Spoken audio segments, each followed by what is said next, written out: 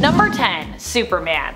I mean, hate is a really strong word, especially if we're talking about the relationship between Clark and Bruce. However, you likely clicked for the hate, so it's kind of my job to give that to you. While Superman and Batman are generally like BFFs for life, even BFFs have those moments where they really question, you know, why they ever became friends in the first place. I know I've had those moments myself with my BFFs and it turns out so have Bruce and Cal. There have been a few instances where Superman has really questioned Batman's judgment and he even once voted to have him kicked off of the Justice League for just that. This was during Tower of Babel, though really Superman was more disappointed in Batman than anything else. I mean, I think most of the Justice League's members were, and as a result, Batman was successfully removed from the roster and his position as team leader. There is also, of course, a whole other universe where these two genuinely did come to hate each other. That is the Injustice universe, where Superman, in essence, became a dictator after being broken mentally by the Joker and kind of turned into a villain as a result of that. Batman refused to join Superman's side in this universe, making the two, ultimately, enemies. And friends, before we move on to our next spot on this list, if you love what we do here at Top 10 Nerd, and if you love, or sometimes maybe love to hate, Batman, be sure to let us know by giving this video a thumbs up.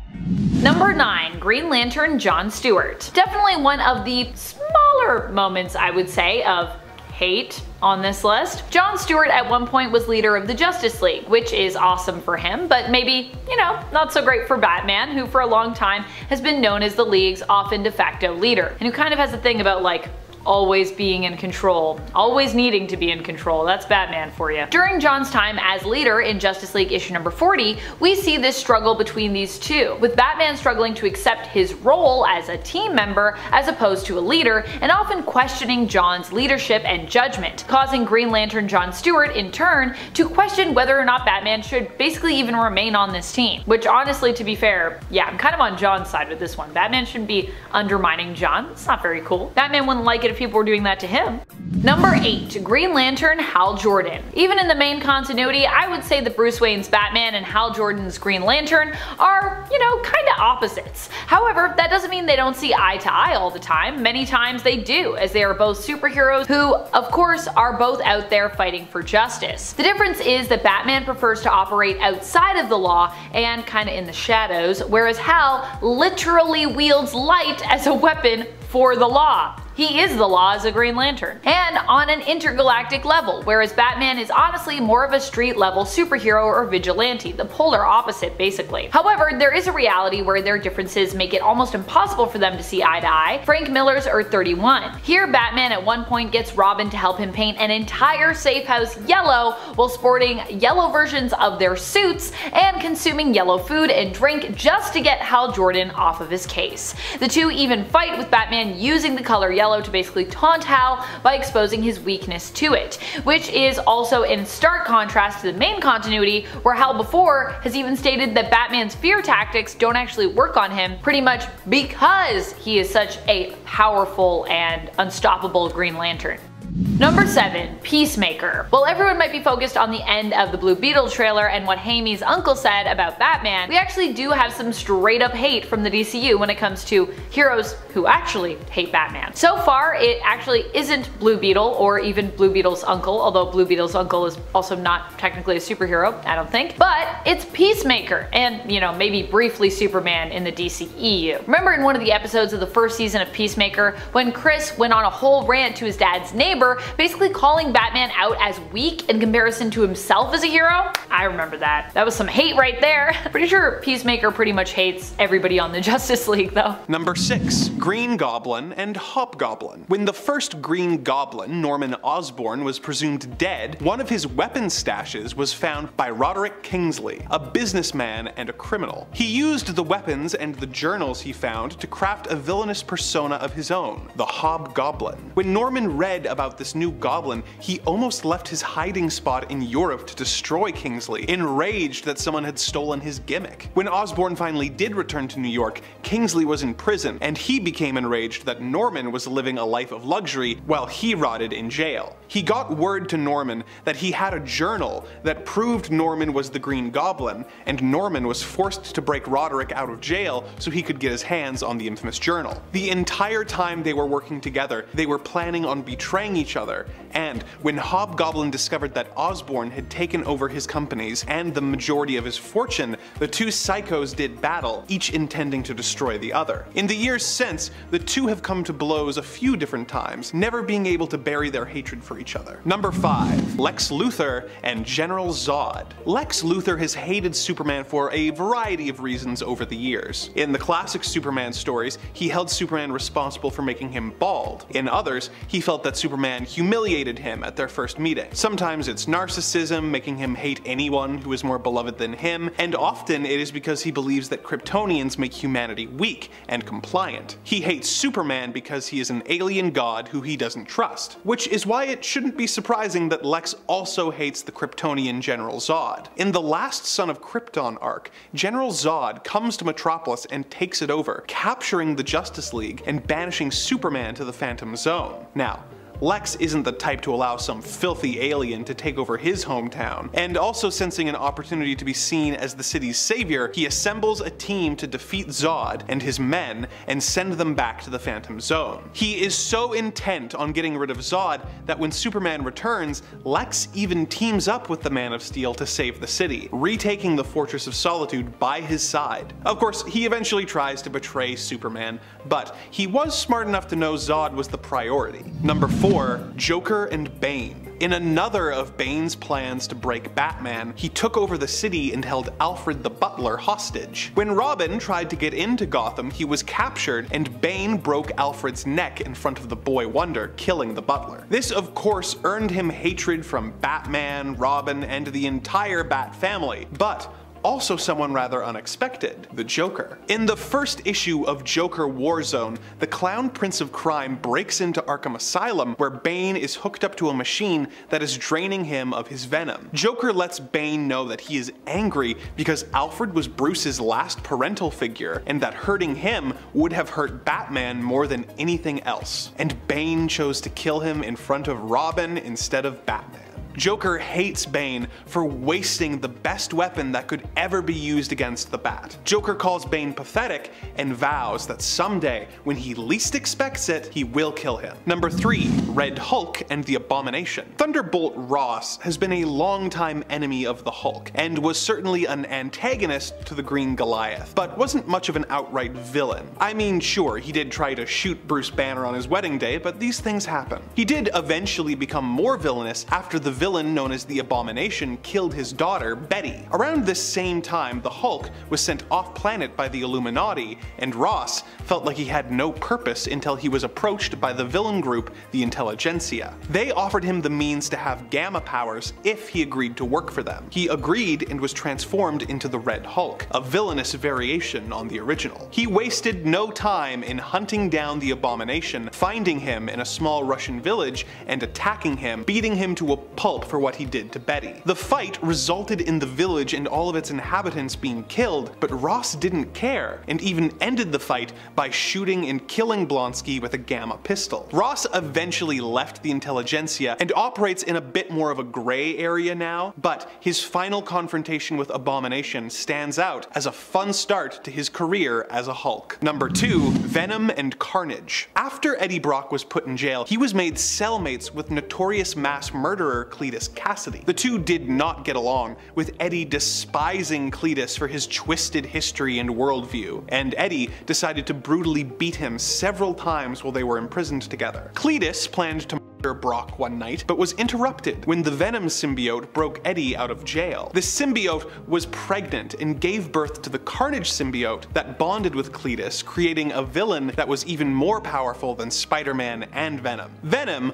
although a murderous villain at this point in his history, was extremely reverent to innocent lives and hated Carnage so much that he even teamed up with Spider-Man, his arch enemy, to help the webbed wall crawler take out Cletus and his symbiote. Venom is now more more of an anti-hero than villain, but his rivalry with Carnage has been a consistent element of the character to this very day. Number 1. Magneto and the Red Skull Magneto was a Jewish man who lost his entire family and was sent to Auschwitz by the Germans during World War II. The Red Skull was a high-ranking member of the National Socialist German Workers' Party, whose more commonly used name I'm not allowed to say on this channel, so it makes sense that Magneto would really hate the Red Skull's guts. We witnessed this this in Captain America number 367 when the Red Skull was suddenly attacked in his office by the Master of Magnetism. Magneto demanded to know if Red Skull was the same Red Skull who was operating during World War II. Upon Red Skull's confirmation that he was the same man, Magneto informed him that he had sworn revenge against anyone who had been involved with the German army in World War II. Seemingly unable to read the room, Red Skull decides that this is the moment to pull a we're not so different, you and I, and points out that Magneto's willingness to kill humans who he considers inferior to mutants in order to further the advancement of his people who he considers a master race makes him pretty hypocritical. Magneto is not a fan of this admittedly kinda valid point and responds by capturing Red Skull and locking him in a bomb shelter all alone with no means of escape and nothing to survive on but 10 gallons of water. Magneto tells Red Skull that he wants to make him suffer as he made others suffer during the war and that he is going to wish that he had killed him. He then leaves him to his fate, alone in the dark. Number 10. Green Arrow. Green Arrow is sometimes known to take issue with Superman in the sense that he feels the hero is far too powerful to really connect with humanity, seeing him as somewhat dangerous and aloof. This makes some sense when you consider that Oliver Queen, in contrast to Superman, is very much a street level superhero, quite literally a Robin Hood of sorts. Although there is irony in this kind of concern coming from Queen, considering that Ollie is also not quite your commonplace man of the people in regards to his station in life and usually, you know, the vast wealth connected with his name. In Dark Knights of Steel, however, this criticism makes quite a bit more sense with the medieval Green Arrow of this universe being a commoner in contrast to King Jor-El and his son Prince Kal-El. And this version of Ollie is not afraid to showcase his thoughts when it comes to the tyrannical hold he feels the House of El has on the kingdom. Oliver Queen coming for the royals. And friends, before we move on to our next spot on this list, if you you love what we do here at Top 10 Nerd, and if you love when we talk about superhero beef, be sure to let us know by giving this video a thumbs up. Or if you just like when I say superhero beef. Number 9. The Flash. Hate might be a strong word to describe the tension between Superman and Barry Allen's The Flash, although if you know me, you know that for me, hate is always a strong word. Instead, I would say these two have more of a rivalry, if you will, often racing one another and with The Flash kind of gloating that he's simply too fast for Superman to catch. Barry's always like, no one can touch me, I'm the fastest man alive. Which makes Barry somewhat of a perfect match, you'd think, for the Man of Steel. Of course, this claim hasn't always been true has it. There are times the two have been forced to fight against one another and Superman has actually managed to get his hands on Barry, or at least his finger. While it hasn't always worked out in his favor, especially if he's going up against Superman, the Flash sometimes feels as though his way of dealing with crime is somewhat superior to Superman's, or at the very least that it is somewhat oddly underappreciated by his fellow Justice League member Kal-El. Number 8. Martian Manhunter What's Martian Manhunter's beef with Superman? Well, Nothing super specific to be honest. It's more like a hodgepodge collection of things that have contributed to some tension between the two superheroes over time. It's less that Martian Manhunter hates Superman and more that they occasionally do butt heads. For the most part though, J'onn J'onzz tends to be a pretty calm, cool, and collected type and isn't prone to striking out against his colleagues. That's just not who he is. However, it also has been shown that he is somewhat jealous of Superman and resents the love that people show for Clark over him. At at least that seems to be what is implied when he returns as a Black Lantern after dying as showcased during the Blackest Night event in issue number 44 of the 2005 Green Lantern series. It's like literally lifting buildings up and being like, I'm as strong as Superman. I don't know, seems like he's got some issues, but he doesn't want to talk about them when he's alive, only when he's a Black Lantern. Number 7. Booster Gold. Another hero who would probably be a lot less timid when it comes to his dislike of Superman, or rather the praise that Superman often gets in comparison, is Booster Gold. For Booster, his jealousy probably comes from more of a place of insecurity than Martian Manhunter's jealousy. I don't think John is necessarily insecure, but he's more like deep down, rightfully kind of frustrated that he's constantly living in the shadow of another alien superhero who he feels, you know, he's on a similar level to. And honestly, while Martian Manhunter might not be as popular with comic book fans in comparison to Superman, based on what I know at least of his power set, I would agree. Booster Gold already comes with self-esteem issues right out of his origin. He became a hero in an attempt to redeem himself, so I mean, of course, he's not going to be the most secure about his status as a hero. And add in the fact that he is often the butt of people's jokes in the DC universe and is not taken as seriously as a hero, and it makes sense that he'd have some disdain for Superman and all the love the hero receives by comparison.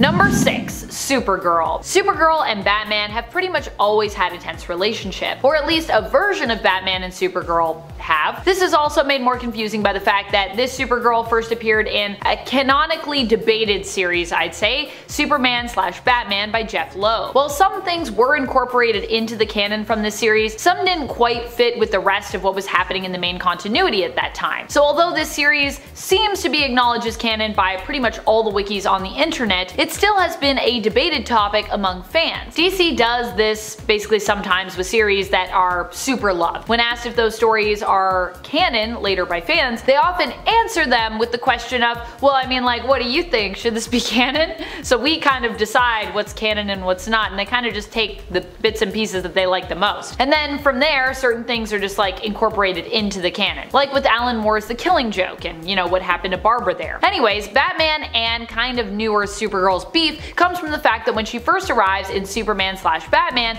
she causes quite the stir after exiting her ship which Batman finds in Gotham. Naked and confused, Kara wanders around and basically causes all kinds of destruction. Now add in the fact that Superman was initially believed to be the last surviving Kryptonian, Kara's anger issues, and the fact that she turns evil more than once, and I mean it kinda makes sense that her and Batman would not get along. He kind of doesn't really trust her and as a result, she kind of doesn't really like Batman. She's like, this guy is just a big jerky jerk and he doesn't get me.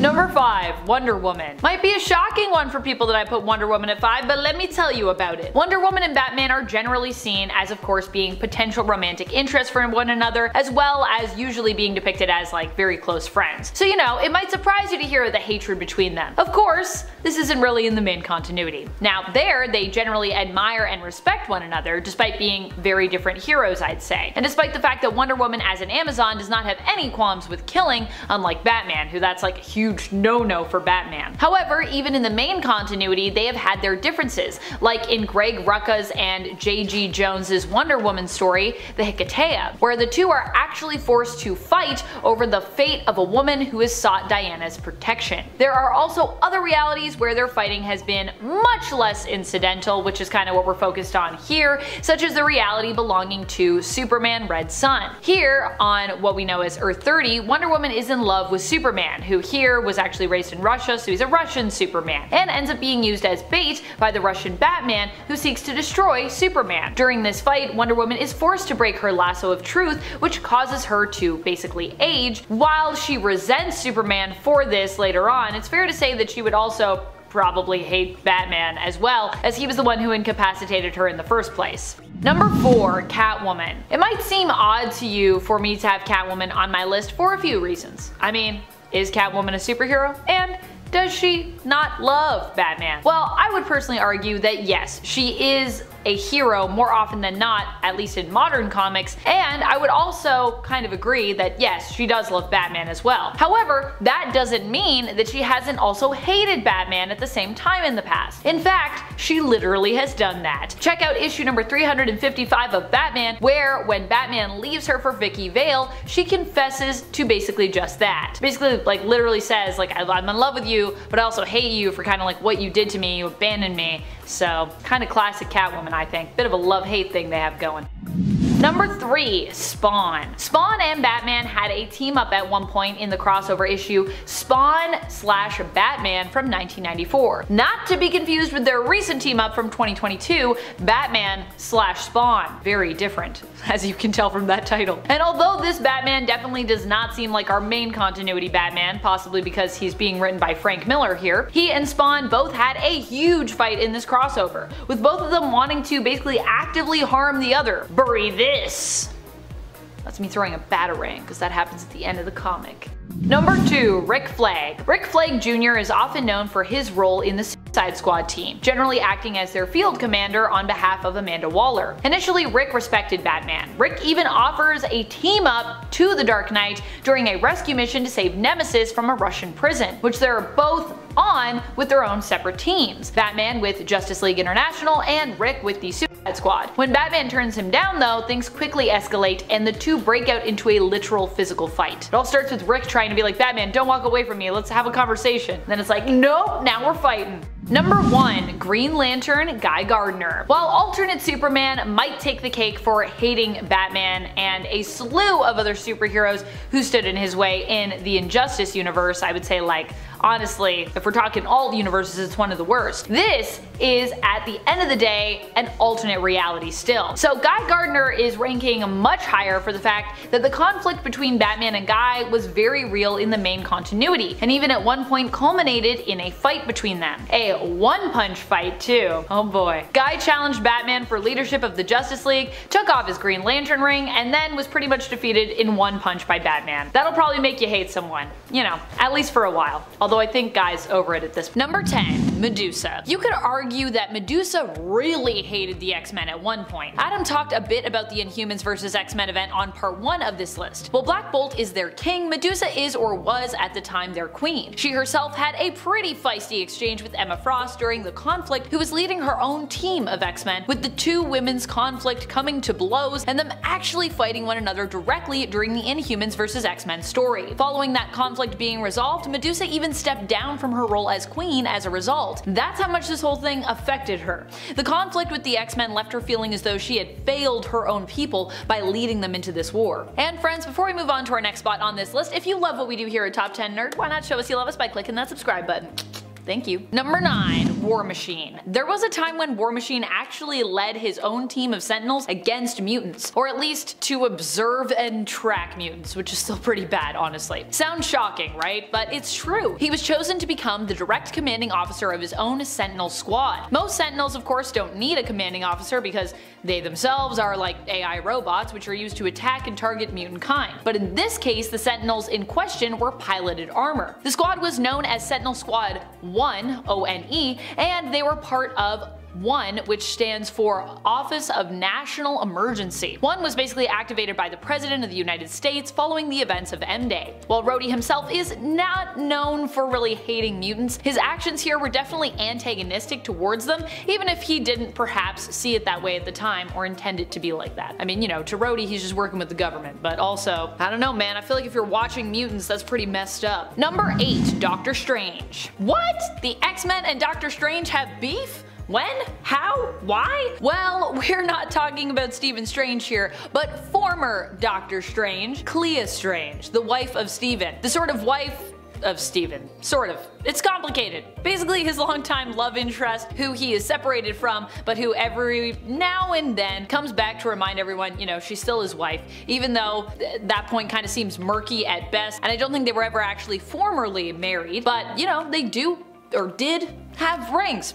So, yeah. Clea during the Hellfire Gala of 2022 had some very tense moments with the mutants, not really specifically the X-Men as they stand now, but at least a former member of the X-Men, Emma Frost. Clea came to the gala and requested to speak to Emma in the hopes that she might be able to help her resurrect Stephen, who had recently died during the events of the death of Doctor Strange. It had just been revealed to the world that mutant kind had the power to basically bring back their dead, and Clea was basically hoping they might be able to help her in reviving Stephen. But, of course, Emma refused. Instead, actually suggesting that maybe Clea would be a better Sorcerer Supreme than her husband was. Now, despite this being technically a compliment, Clea did not take the response very well. She was actually pretty peeved. Number 7. Alpha Flight. After consulting with our resident Alpha Flight expert, Andrew, I learned that as I suspected, Alpha Flight has had beef with the X-Men, mainly involving Wolverine. Despite the fact that Wolverine himself has been a member of Alpha Flight, the team have also constantly made attempts to kidnap Wolverine and take him back to Canada, because they basically have seen him as essentially government property. Well, that doesn't sound very polite or very Canadian-like to me as a fellow Canadian, but that's basically the tea there. Eventually, Wolverine and Alpha Flight would work things out, and currently they are on very good terms with the Canucklehead, but there was a time when they had a very real problem with the X-Men and some serious jealousy issues, it seems, in regards to their attachment to Wolverine, which I mean, I kinda get. Wolverine's pretty cool. if he was on my team too and he was like, hey, I'm leaving, I'd be like, no, get back here. I don't know if I'd kidnap him though. I feel like that's not very nice. Shouldn't go around kidnapping people. Number 6. Shazam. Typically Shazam Shazam, aka the formerly known Captain Marvel, aka Billy Batson, is often portrayed as someone who looks up to Superman. Although that isn't to say that they don't have their moments where they do kind of compete against each other because, well, I mean, as fans, we like to be like, who's more powerful? In the Injustice universe, though, despite following Superman, at one point Shazam also tries to act as a voice of reason when he actually kind of questions Superman's judgment. Seeing this as a challenge to his authority, though, Superman reacts pretty dramatically by basically killing Shazam, focusing his heat vision on Shazam's eyes until his head basically melts. Sounds like a pretty terrible way to go, not gonna lie. Looks like a pretty terrible way to go in that comic too. Number 5. Hercules. Calling Hercules a hero is somewhat debatable. It kinda depends on which period in this history we're referring to. In the early days though, Hercules was definitely marketed as a hero. In fact, while I'm more familiar with him as somewhat of a villain in Amazonian history, he initially was portrayed as being a captive of the Amazons held against his will, who simply tricked Hippolyta into giving him her girdle so he might escape imprisonment. Although, you know, then he also took it out on the Amazons, that whole thing, and that's that's a whole other thing. Even back then, he really did seem to uh, hate the Amazons. Although perhaps in that story with some good reason since, you know, he was their prisoner. With Superman, his hatred of the hero came from a love of Lois Lane when Hercules found himself transported to the future. Superman's present day in the 20th century. However, this brief encounter likely wouldn't be remembered by Hercules today since he was kind of made to forget all about it when he traveled back to his own time. So yeah, but that was the thing. He loved Lois Lane for a minute. Number 4. Green Lantern. Guy Gardner once had his own series where he decided to actually pick a fight with Superman. And this actually wasn't the first time these two would fight either. For Guy, this was a rematch that he wanted because the last time they fought, Superman basically trounced him. Although we often know him as the hero Green Lantern, this was during a time when Guy was actually wearing a yellow ring, having powered up his ring through fighting Green Lanterns, which is how it seems to charge, at least here, Guy heads to Earth to fight against Superman. However, even Guy finds it challenging to commit to a battle against Supes. You see, right around this time, the Justice League was also kind of fighting Doomsday, so Guy ultimately heads to Earth to fight Superman and then ultimately ends up joining in the fight against Doomsday and, you know, if you've heard of the death of Superman storyline, I think you know how that all goes. Not very well for almost everyone involved, because Doomsday is insane. Number 3. Wonder Woman. In the Superman Red Sun universe, Wonder Woman actually starts out as an ally of Superman's and even falls in love with them. So, where does it all go wrong here? In the Red Sun universe, we explore a world where Superman is actually an agent of the Soviet Union, having landed there instead of in America when he fell to Earth. Wonder Woman and Superman are involved in a relationship that is mainly fueled by politics, uniting both the strength of the Soviet Union with that of Themyscira and the Amazons. However, when Superman is taken prisoner by his world's Batman, Wonder Woman rushes in to save him. In the end, this rescue attempt costs her pretty dearly, with Wonder Woman being forced to break break her lasso after being restrained by it, and therefore as a result losing her immortality and her eternal youth. Despite initially loving Superman, because of this, Wonder Woman's love turns to, well, kinda hate, and she never really fully forgives him for what happened to her as a result of his own capture. Number 2. Batman. Batman and Superman are often known for being best friends in the main continuity. I mean, Clark was asked to be Bruce's best man at his wedding. The wedding to Selina Kyle, aka Catwoman, which of course ended up not really happening and getting called off, but still, this just goes to show how close the two of them are. So how could Batman hate Superman? Well, in an alternate reality known as Injustice or Injustice Gods Among Us, full title, Superman ends up becoming a ruthless tyrant after losing Metropolis and his family, Lois Lane, and their future child together. What's worse was Superman was the one to take Lois's life, thanks to the machinations of Joker and Harley Quinn. This causes Superman to snap, killing the Joker and setting out to control the world world in response, starting a full-out, unforgiving war on crime. Batman, however, in this universe, disagrees with Clark's approach, seeing him for what he is, a controlling and unforgiving tyrant, who has been basically driven mad with power as a result of his loss. This causes a divide between the two, with Batman gathering his own team to combat Superman and the heroes who follow him. Number 1. Black Canary. I forgot about this one and then I was like, oh yeah, that's a good one. Also, thank you to Adam for the suggestion when I was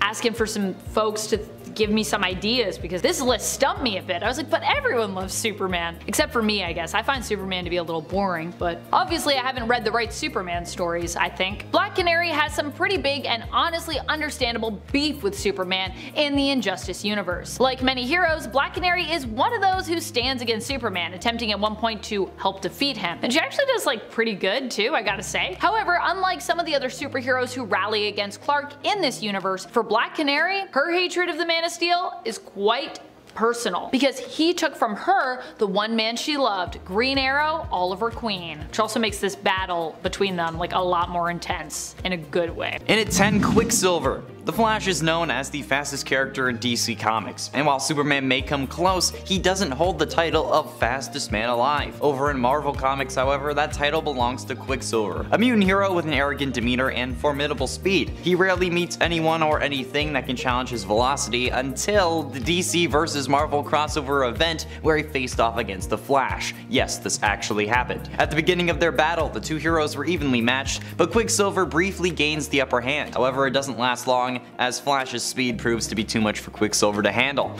The Flash secures his victory with relative ease. Though they team up later in the series, Quicksilver can't seem to shake his resentment towards the Flash for being faster than him. The Flash is the undisputed fastest character in DC Comics, so yeah, I mean like, it, it makes sense. He proved to be even faster than Quicksilver, Marvel's fastest character, yeah, I can understand the resentment. I mean, if you think that you're the fastest and then they prove that you're not, it makes you a little bit bitter. In at 9, The Flash. Ironically enough, one of the superheroes who hates the Flash is actually the Flash. And I'm not talking about like Wally hating Barry's version, I'm talking Barry Allen getting so mad at himself that he travels back in time to kill his younger version. This is a thing, guys. Th this is comics. While Savitar was introduced as the future Flash in the show, the real future Flash is very different in the comics. When Iris and Wally West get into a car accident, Wally ends up dying and Iris gets paralyzed. Blaming himself for not being there, Barry becomes a much darker hero after. He kills the Reverse Flash, Mirror Master, and Grodd before turning his attention on his past.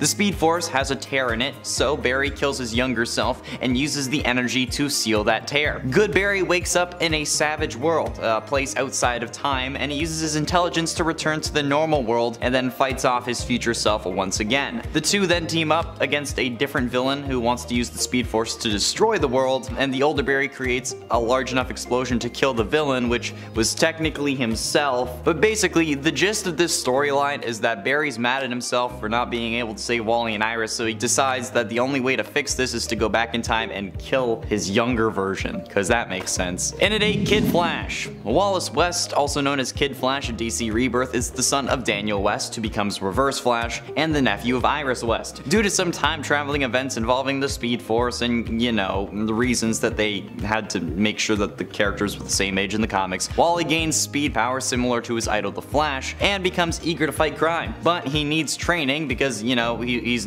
new to the Speed Force and having speed and he's also kind of reckless. Although Wally doesn't really listen to Barry, he respects and listens to the Flash, who is Barry's alter ego, but he doesn't actually know about it. He doesn't know that Barry's the Flash at this point. But Barry knows about Wally's. Barry takes Wally under his wing as the Flash and trains him, but their relationship becomes strained when Barry is forced to reveal his identity. Wally already resented Barry for being distant with Iris, but when he discovers that Barry is the Flash, he hates him even more. He's furious at Barry for keeping the secret for so long, and it just it made the resentment grow that much more, so yeah. In its 7, Green Lantern. After Hal Jordan's descent into madness, Ganthet, the last guardian of the universe, created one final Green Lantern ring and bestowed it upon the artist Kyle Rayner. Entrusting him with the legacy of the Green Lantern Corps, despite some initial doubts, Kyle proved to be an exemplary Green Lantern and even rivaled the iconic greatness of Hal Jordan. When Kyle joined the Justice League though, it was a significant moment for him, but one member of the team wasn't thrilled, and it was Wally West, who was known as the Flash. Both Wally and Kyle were legacy heroes and relatively new to their roles, but Wally initially disliked Kyle, believing him to be too inexperienced and lacking the ability to fill Hal's shoes. Similarly, Kyle couldn't stand Wally at first either. Despite their initial animosity towards each other though, they eventually learned to work together and became friends, with Wally even entrusting Kyle with protecting the Earth in his absence. Number 6. Eternals.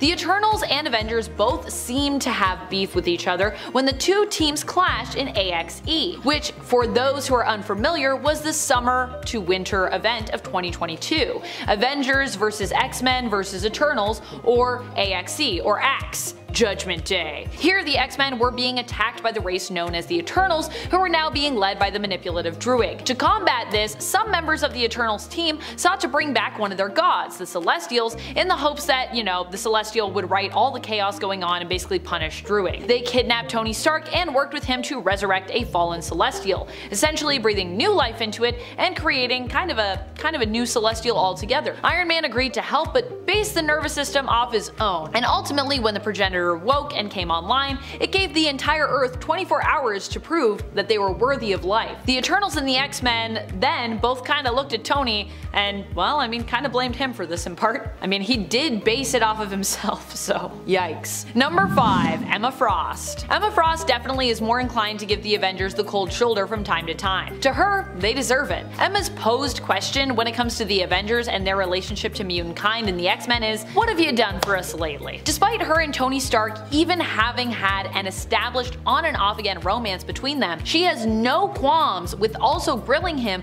on why he and the Avengers team have never been around when mutants needed them most. Like, you know, during the tragedy in Genosha. Like many mutants, Emma is left wondering why the Avengers haven't used, you know, the fact that they're loved and celebrated the world over to stand with mutants and actively attempt to lift them up in the public eye and help fight against everyone that hates them. Tony's response to Emma's line of questioning questioning is to point out that, you know, the Avengers have also had a hard time when it comes to their being accepted by the world. But Emma, she isn't buying it. And to be fair, mutant-based heroes have traditionally had it, I think, a lot harder in comparison to human-based heroes, so I think I stand with Emma on this one. Number 4. Beast. Beast is having a wild time in his life right now in the comics. Oh, Hank, what happened to you? He is in essence Dark Beast, but you know, what if Dark Beast simply existed in the main continuity because we know Dark Beast is dead, so this can't be Dark Beast, sadly, we can't explain it away. Recently, Beast created his own Council of Beasts, and every time I see him do just about anything in the comments lately, I question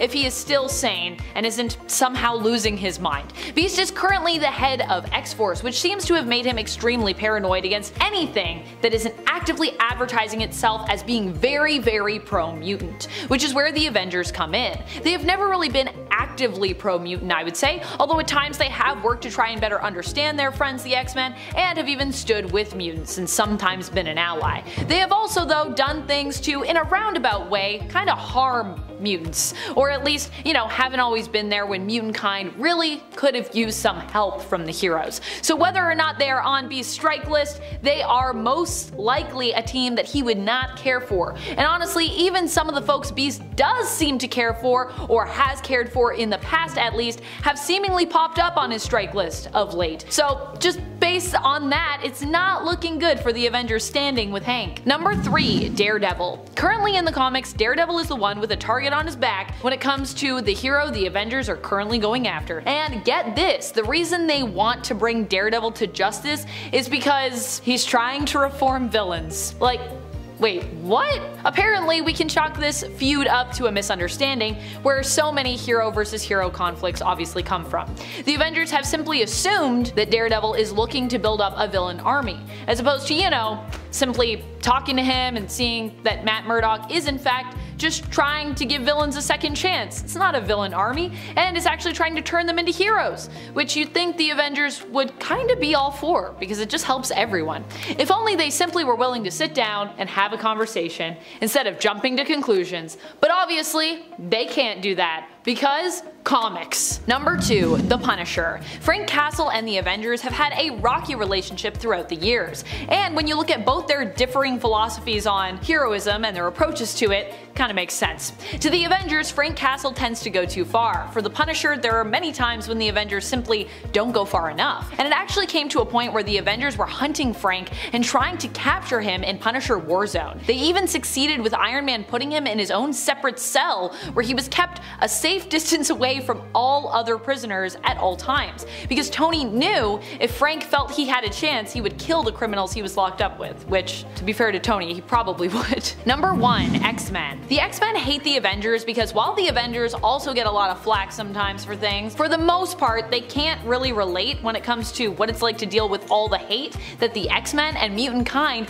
just get for, well, being themselves and existing. Overall, the world loves the Avengers, but overall, the world tends to hate or judge the X-Men just because they're mutants, even though the X-Men have saved the world like multiple times. The differences between the two and just how much the Avengers didn't really get what was going on for the X-Men was highlighted during the Avengers vs. X-Men event, also known as AVX. Although at least out of that we got the Uncanny Avengers, which was a team that Captain America put together in the hopes of mending the relationship between the two teams, which you know, kinda worked I think. Number 10. Spider-Man and the Human Torch. In one of his earliest adventures, Spider-Man broke into the Baxter building in an attempt to impress the Fantastic Four, in hopes of being invited to join the team. This led to a misunderstanding and a conflict between Spider-Man and the team. Although this encounter left both sides with a bad taste in their mouths, it was Peter and Johnny who had the most tension between them due to Johnny's need to be seen as tough and manly, and Peter being reminded of the popular kids who used to pick on him, like Flash Thompson. The Fantastic Four eventually came around to the webbed wall crawler, and Spidey and the Torch became close friends, even referring to each other as brothers. But a friendly rivalry remained between the two. This is perhaps best memorialized in Amazing Spider-Man number 657 when we got a glimpse of a camping trip taken by the Fantastic Four and Spider-Man. The two began an elaborate and ever-escalating prank war with some highlights being Human Torch heating up a bowl of water to try and get a sleeping Spider-Man to wet himself, Spider-Man covering the toilet paper with webbing, Johnny using sunscreen and his powers to write the words flame on on Spidey's back, and Peter creating a fake shark fin out of webbing to scare the Human Torch when he was swimming. The two put a pause to their prank war in order to team up to play an elaborate trick on the Thing, so while the two heroes have nothing but love and respect for each other, their friendly rivalry seems to bring nothing but joy to each of them, which is a nice change from all the other entries on this list who seem to genuinely hate each other. Do Andrew and I have a friendly rivalry or do we have a rivalry where we hate each other? I hate you. I only have the utmost respect for Andrew, so we'll have to resolve this at another time. Also, a quick reminder, if you like this video, you should do the things that people do when they like stuff, like click like or subscribe. Number 9. Moonstone and Miss Marvel. Speaking of rivalries where people hate each other, I also know a lot of people might not know who Moonstone is, and might say, Amanda, there are bigger rivalries than this one that you could be covering right now. And hey, I hear you. But while this list is about biggest rivalries, I also like to keep things fresh by touching on characters and relationships and lists like this that we don't often get to talk about. One, because it helps me to stay sane by not telling you about the same stuff on repeat because, you know, been here for a while guys. And two, it's just fun to learn new things. I love learning new things and I hope you do too. So for those of you who don't know, Moonstone was a member of the Thunderbolts and is Karla Sofen. From day one, she was pretty much a straight up villain. Even when she was a psychiatrist before she got her powers. She was a pretty mean and awful psychiatrist to be honest. At one point, she becomes the Dark Avengers version of Miss Marvel standing in for Carol Danvers, who refused to join up with Norman Osborn's team, understandably, and who at the time was known as Miss Marvel. This was before Carol took up the mantle of her former mentor, Mar-Vell, and became Captain Marvel. As a result, the two ended up becoming adversaries, and after Carol dies and is resurrected, Karla fights her for the title of Miss Marvel. She kinda loses this fight, but in a weird twist she also like finds herself again during it, becoming Moonstone once more, with Carol also becoming whole again as a result. Also, for those who are wondering, this is who Carol was fighting in the thumbnail slash the cover photo if you would prefer for our part 1 to this list, which you should definitely check out if you haven't done that already. I don't actually hate Amanda. I just hate that she's clearly more popular than me. what? Number 8. North Star and Guardian. I know, I know, I have an Alpha Flight problem, just deal with it. Compared to other Marvel teams like the Avengers or certainly the X-Men, Canada's super team, Alpha Flight, has been relatively free from interpersonal conflict. Part of this is because of how the team is divided up across the country and rarely actually have to team up with everyone, and partly because Canadians are so polite that rivalries are much harder to spot. However, two teammates who have never gotten along are Jean-Paul Beaubier and James McDonald Hudson. Hudson thinks of Jean-Paul as an arrogant, petulant jerk, and Jean-Paul thinks of Hudson as a manipulative government stooge. Both characters have relatively valid points, and as someone who wants Quebec to be its own separate nation, it makes sense that North Star would have an issue with the guy dressed in the Canadian flag. But what is the source of this rivalry? Before the formation of Alpha Flight, North Star believed himself to be an only child, but when Hudson began searching Canada for potential members of his super team, he discovered both North Star and his long-lost twin sister, Jeanne-Marie. He introduced the two and made both of them members of Alpha Flight, giving them the opportunity to get to know each other while serving as team members. You'd think that would make North Star relatively grateful, but when they discovered that Jeanne-Marie was actually mentally unstable, suffering from dissociative identity disorder, North Star wanted her removed from the team for her own well-being. She refused to leave, and Hudson allowed her to stay, making North Star believe that Hudson was taking advantage of her poor mental health to keep a powerful team member around. The two have had a rocky relationship ever since, with North Star openly insulting Guardian in the field, and Guardian mostly brushing it off unless it begins to interfere with the mission. Despite their issues, they are capable of supporting each other from time to time, with North Star reluctantly attending James's funeral the first time he died, and James showing up in uniform to North Star's wedding in Astonishing X-Men number 51. I'm the human torch and you're Spider-Man, and you're mine.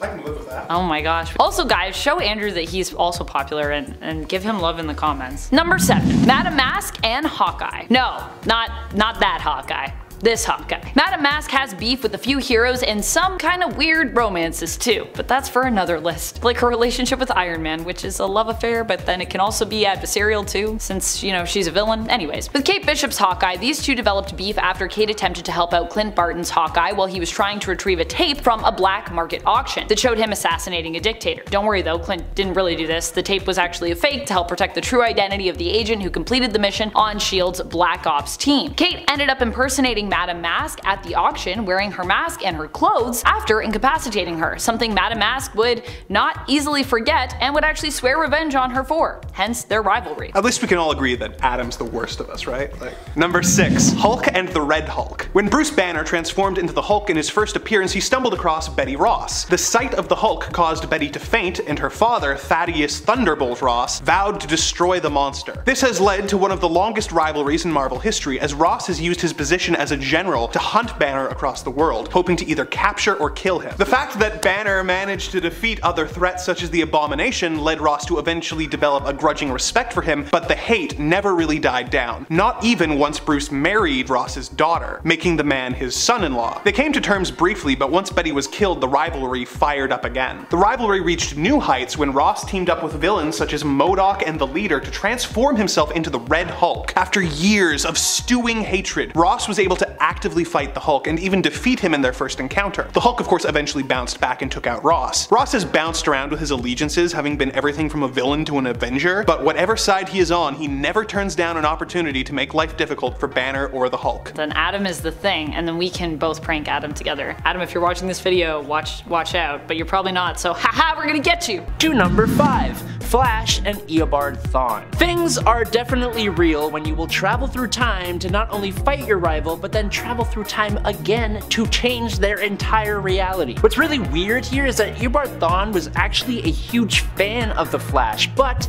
being from the future, and because time just be like that sometimes, he surprisingly learned that the Flash's greatest villain, Reverse Flash, was Eobard Thawne himself, and then he made sure that this came to pass, kind of like a, a, weird manifest destiny thing. He got powers similar to the Flash, went back in time, and worked alongside Wally West, pretending to be the Flash himself, Barry Allen. Thawne claims responsibility for taking down the Flash family. He destroyed Wally West's life, and probably the most pivotal Flash story, Flashpoint, involved Thawne and Barry battling through time, with Barry attempting to stop Thawne from taking the life of Nora Allen, Barry's mom which caused a whole different reality to form and Thawne observed the whole thing, mocking Barry pretty much the whole time. Eobard Thawne found out he was supposed to be a villain and so he decided he was going to go extremely hard with that and be the most dastardly devil you ever did see. Number 4. Sinestro and Hal Jordan. Sinestro has a serious case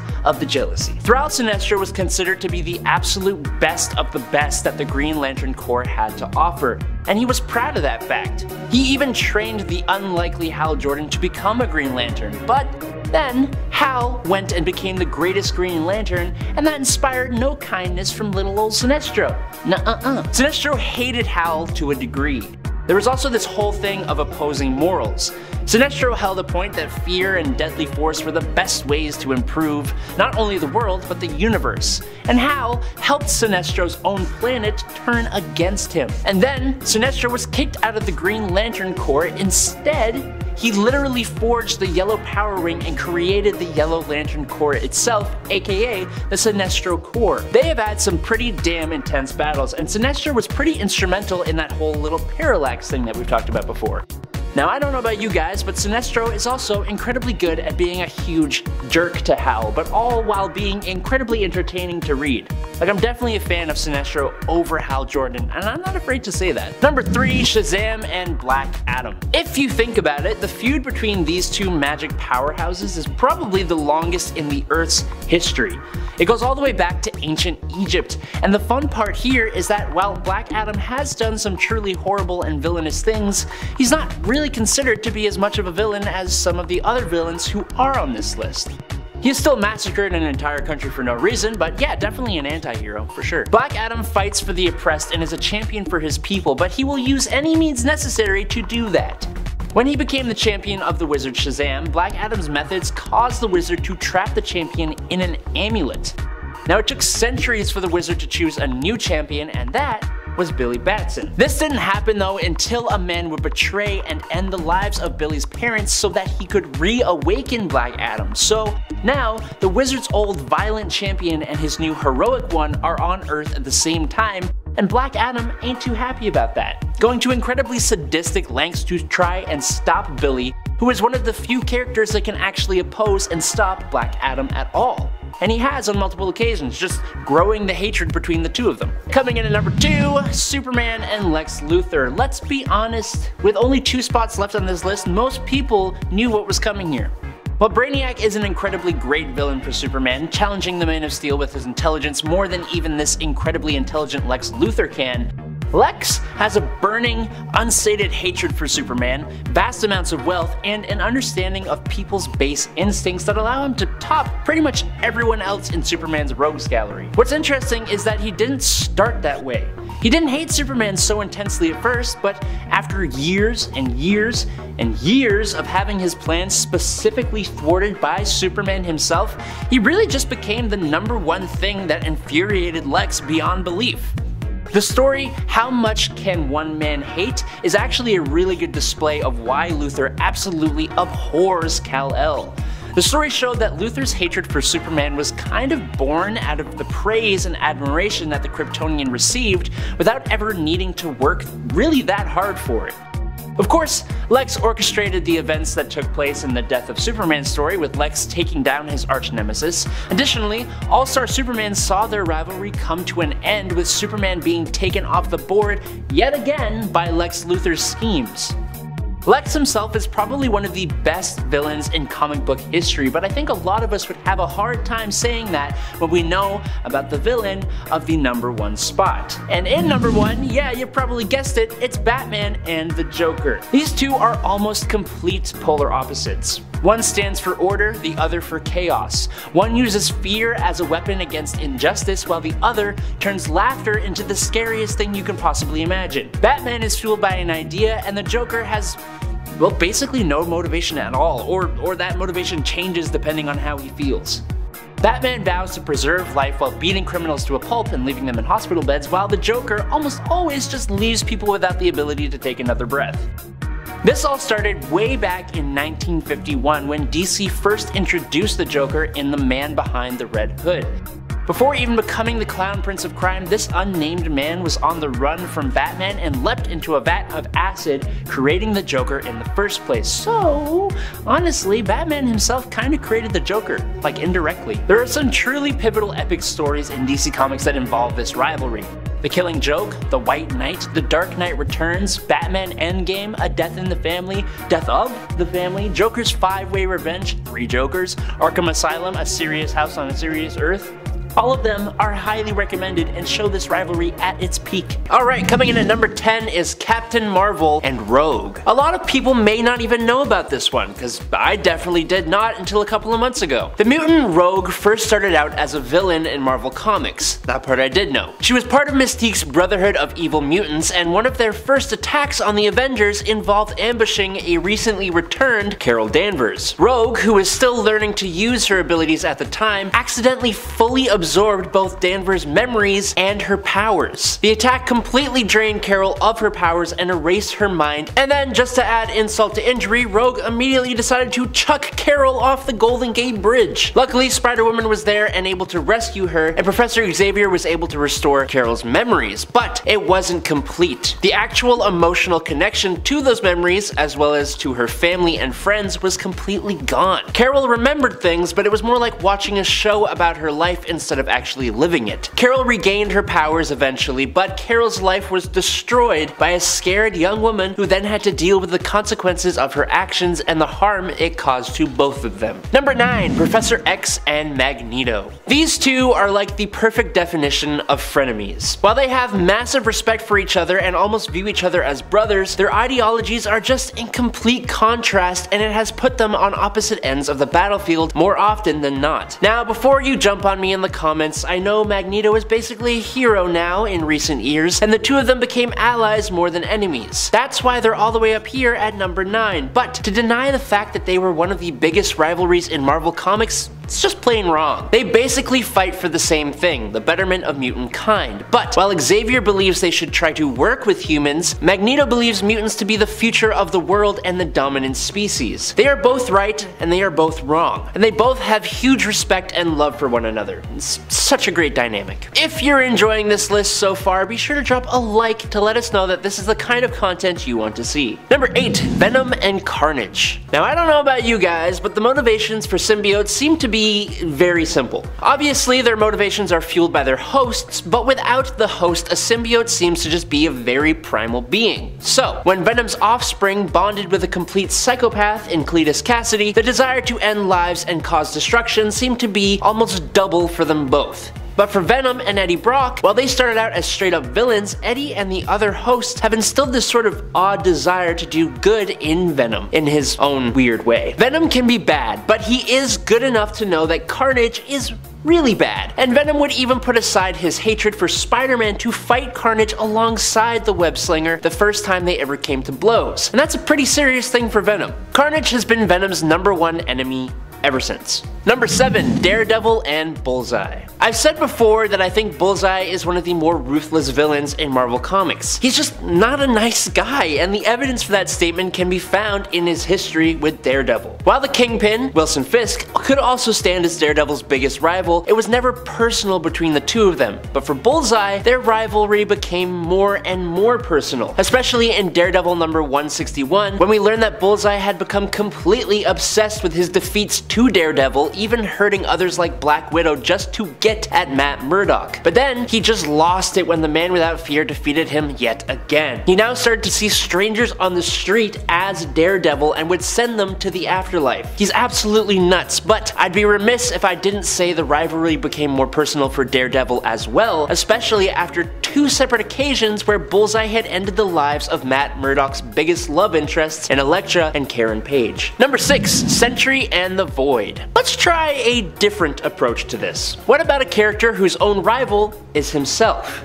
Or an aspect of himself? Honestly, with the sheer level of power possessed by the Sentry, it almost makes sense for his main rival to be his darkest aspect, the Void. When Robert Reynolds injected himself with an experimental Golden Sentry serum, an offshoot and supposed improvement of the Super Soldier Serum, he gained the power of a million exploding suns and became one of the world's greatest superheroes. Until the Void arrived. The Void nearly took out Sentry's sidekick, Scout, it drove the Hulk into a rampage and took the lives of over 1 million people in Manhattan. When Reynolds realized this was his own dark persona, he enlisted Doctor Strange and Reed Richards, and together they wiped the memory of Sentry from everyone in the world, including themselves. Let me know a character who you think could be a better rival for the Sentry, other than the Hulk, down below. Number 5. Storm and Emma Frost. A lot of people obsess over the rivalry over Scott Summers, aka Cyclops, that exists between Jean Grey and Emma Frost in the comics, but this rivalry between Emma and Ororo runs honestly even deeper. It comes from a time when Emma was still a villain, the White Queen of the Hellfire Club, and ended up body swapping with Storm. Needless to say, Storm was not very happy with the White Queen and held a grudge against her for years thereafter, the whole body swap incident. Body swapping is so creepy in stories, like that is a total violation of someone's privacy in like a whole other way. Talk about evil. I mean, I guess unless you are like consensually swapping bodies with someone, then it's just kind of weird with the potential I suppose to even be cool. Even in the Jean Grey and Emma Frost giant-sized comic that came out only a few years ago, it was shown that Storm still thinks of Emma as her rival, even though they are both now technically allies and both sit on Krakoa's Quiet Council. Number 4. Daredevil and the Punisher. When it comes to the good guys of the Marvel Universe, there's somewhat of a spectrum of morality, with most of them falling somewhere in the middle. While a lot of characters like say Iron Man aren't kill crazy, they also aren't above taking the lives of their enemies if it comes down to it. On opposite ends of the spectrum, you have Daredevil and the Punisher. While Daredevil is strictly against murder and will avoid it at all costs, only resorting to it when under mind control or when he has literally no other choice, like when he killed the helicopter pilot who was using a minigun to turn Hell's Kitchen into a war zone and killing several people a minute in Daredevil number 233. On the other end of the spectrum is Frank Castle, otherwise known as the Punisher, who goes out of his way to murder as many criminals as possible, believing that people are incapable of changing. This difference of methodology of course has caused the two to come to blows several times over the years, as Daredevil tries to stop crimes and put criminals away with the legal system, while Frank has no faith in the system and usually tries to kill every criminal he comes across. The two are known to try and convince one another that their way is better, sometimes in very extreme ways, such as in Punisher Volume 5 Number 3, where Frank chained Daredevil to a roof with a gun taped to his hand, telling him that he must shoot him in order to prevent him from killing a criminal. This rivalry has spawned some of the best moments in each of the characters' history, as well as a mini-series called Daredevil vs. Punisher, which is of course completely devoted to this rivalry. Number 3. She-Hulk and Titania. She-Hulk and Titania have a very interesting relationship in the comics, and while they may be on more friendly terms now in regards to Titania moving away from being a true criminal, as so many, so many Marvel villains have done in recent years, these two ladies are still rivals. In fact, they even came together to kind of celebrate the love of their rivalry in a friendly manner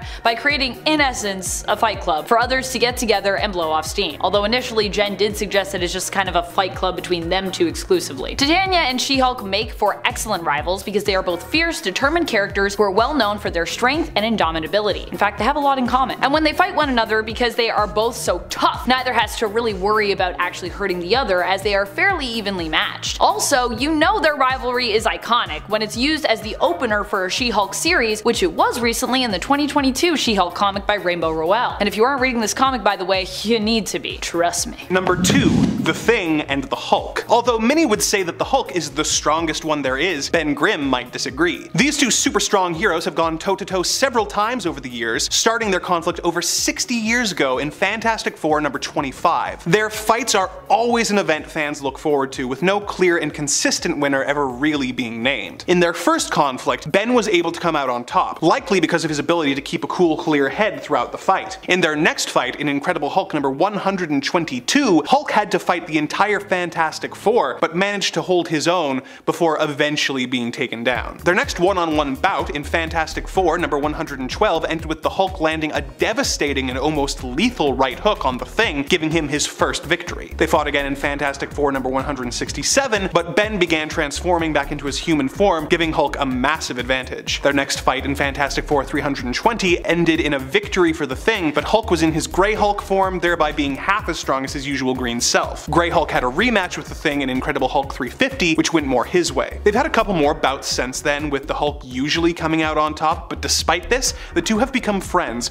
bonding over their experience as normal men transformed into something more. In issue 49 of The Immortal Hulk, we got to see how despite everything, Ben will prioritize their friendship over their conflict when he took the time to comfort a Hulk who had just been attacked by the Avengers and make sure that he was okay before helping the Green Goliath in his quest to defeat the One Below All and the Leader. Despite this, it is likely only a matter of time before we see these two come to blows once again in the Marvel Universe. Number 1. Wolverine and Cyclops. It's a rivalry as old as time. Well, not, not as old as time actually, but as old as Wolverine's first appearance almost. Wolverine and Cyclops have been known to butt heads almost since Wolverine first joined the team. Shortly after Wolverine joined up with the X-Men, Cyclops seemed to struggle with Wolverine's more aggressive nature, causing conflict between the two. And soon after joining, Wolverine developed feelings for Jean Grey, aka Marvel Girl, Scott's girlfriend, which also complicated the two superheroes' relationship and feelings towards one another. While they have always been rivals though, Scott and Logan are also like brothers. They've been through hell together as fellow X-Men, and while they may not always agree, they definitely also are more often willing to work together to help innocents and their fellow mutants. And that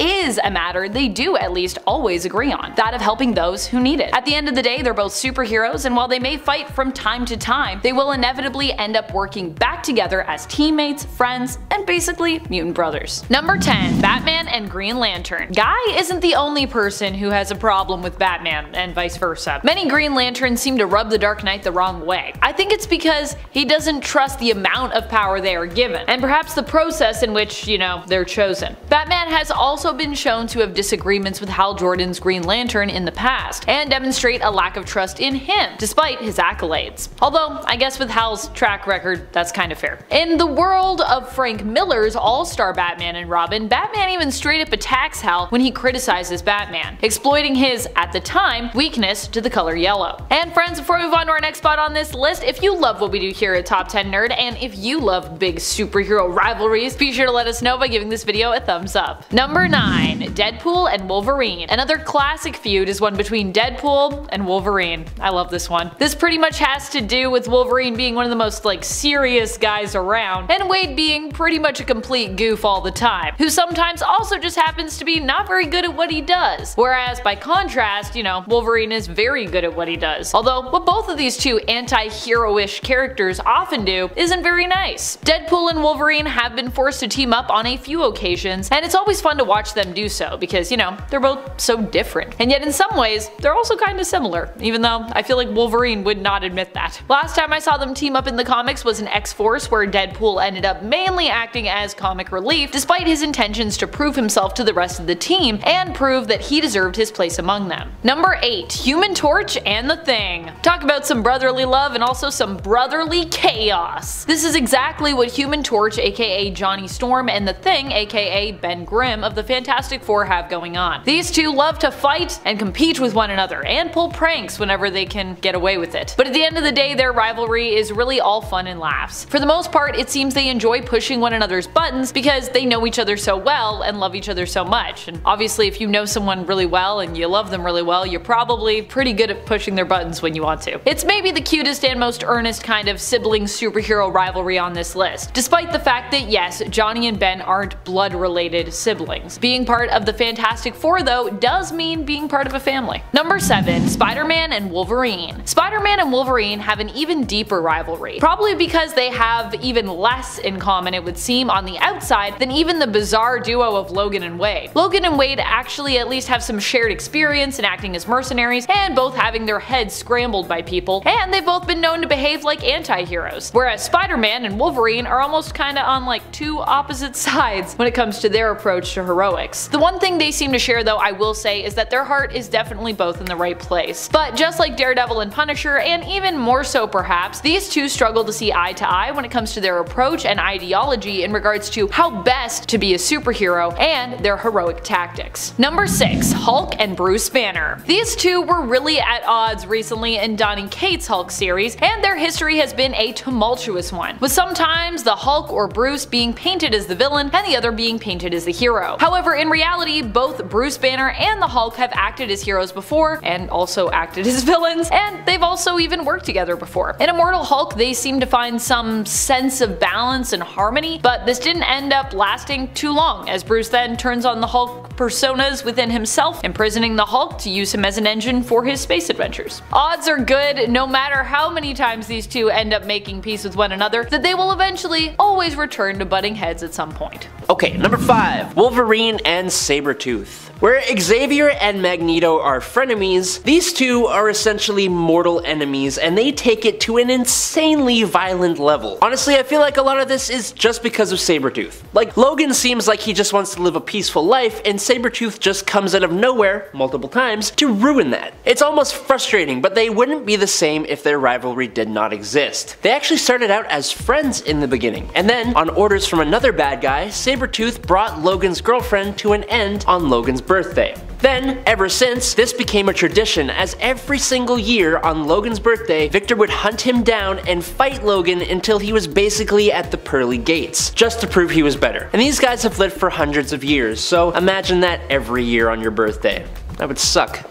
Number 4. Thor and Loki. Thanks to the MCU making Loki so damn likable, this rivalry became a bit more suppressed in recent years, but this rivalry goes back before pretty much anything else. These guys are literally gods and have been around for essentially thousands of years. It all began with childhood pranks as Thor was exceedingly proud and Loki is the trickster god, but Loki's schemes would become more and more intense and endangering as they grew up. Loki trying to bring Thor into trouble and battle by manipulating the Hulk is the whole reason Thor joined up with the Avengers and the team was formed in the first place. There is also the fact that Loki would be the cause of Ragnarok, the fated apocalyptic event that brings the end of Asgard. You can't really find a rivalry that's outlasted this one as it is quite literally myth and legend. Number 3. Reed Richards and Doctor Doom. Nothing like a good old college rivalry to keep you sharp and on your toes. If Victor Von Doom and Reed Richards, two of the smartest men in Marvel Comics, had teamed up together or tried to encourage one another, the world would probably be a utopia. Unfortunately, Doctor Doom is one arrogant guy and he is much more theoretical, famous for using magic and mysticism alongside his genius, whereas Reed is incredibly practical. Reed also seems to not respect boundaries, as in college, he read his rival's research on trying to save his own mother and then proceeded to tell Doom all the ways it wouldn't work. Doom's arrogance led him to dismiss Reed and then it turned out Reed was right, which led directly to the scarring of Doom's face. This was before they had even become their super selves. Their rivalry comes almost entirely down to the fact that Doom will never admit that Reed is smarter than him. Doom is petty,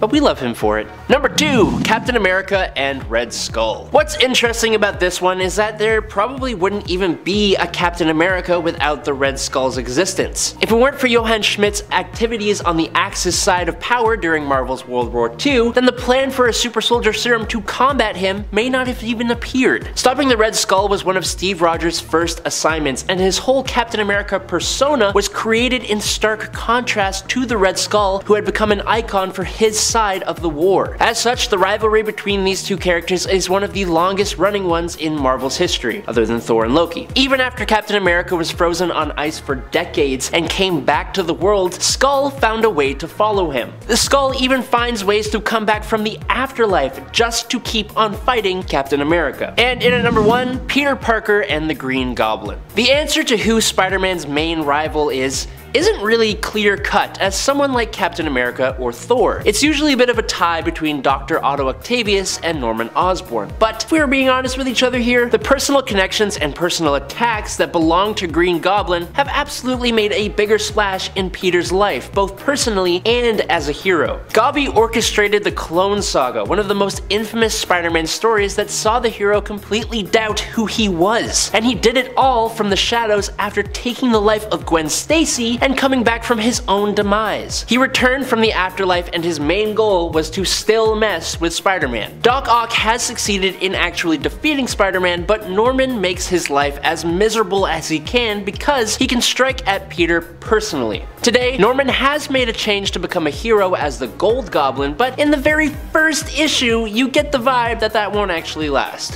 Coming in at number 10 is Daredevil and the Punisher. These two crime-fighting street-level heroes have been butting heads for a hot minute. As with a lot of pairings on this list, to say that they absolutely despise each other is kind of pushing it. Matt Murdock and Frank Castle respect one another, even if their philosophies to crime fighting are in direct contradiction to one another. Matt is a pretty devout Catholic. He's a lawyer. He believes in the criminal justice system and he's got a pretty strict no life taking policy, except for maybe like three instances that are pretty easy to justify. And then there's Frank. The criminal justice system not working is the very reason his family were taken from him. He believes the system to be broken and that his method of an eye for an eye, if you're a criminal you don't deserve to live, is ingrained into the whole philosophy of his hero activities. They couldn't be more different in terms of their morals, but running in the same circle and working in such close proximity to one another means that they are almost forced to work together. And because of that, they have eventually learned how to work together, even begrudgingly. And even though one thinks this horned crime fighter is naive, and the other thinks his skull-themed colleague is a pervasion of the system he fights for, they still find a way to make it work. Number 9. Green Arrow and Hawkman. The interesting thing about this somewhat surprising rivalry between two sometimes forgotten Justice League members, no offense to either, is that it's political. Other rivalries in comics are predominantly centered around modus operandi or love interests or personality differences, but this is just straight up that Green Arrow is pretty liberal and Hawkman, being either a centuries old reincarnated warrior prince or a space cop and sometimes both, is pretty damn conservative. The debates between these two heroes are pretty intense and they've both been wrong and right in different instances, which makes for very interesting storytelling and dynamics. Oliver Queen has been paired up with a space cop before, talking Hal Jordan Green Lantern, and while they butted heads from time to time during their travels together, Arrow's vocalization of his political views never seemed to bother the Lantern as much as it bothers Hawkman. Green Arrow is the kind of guy to demand Aquaman opens Atlantis to democratic elections,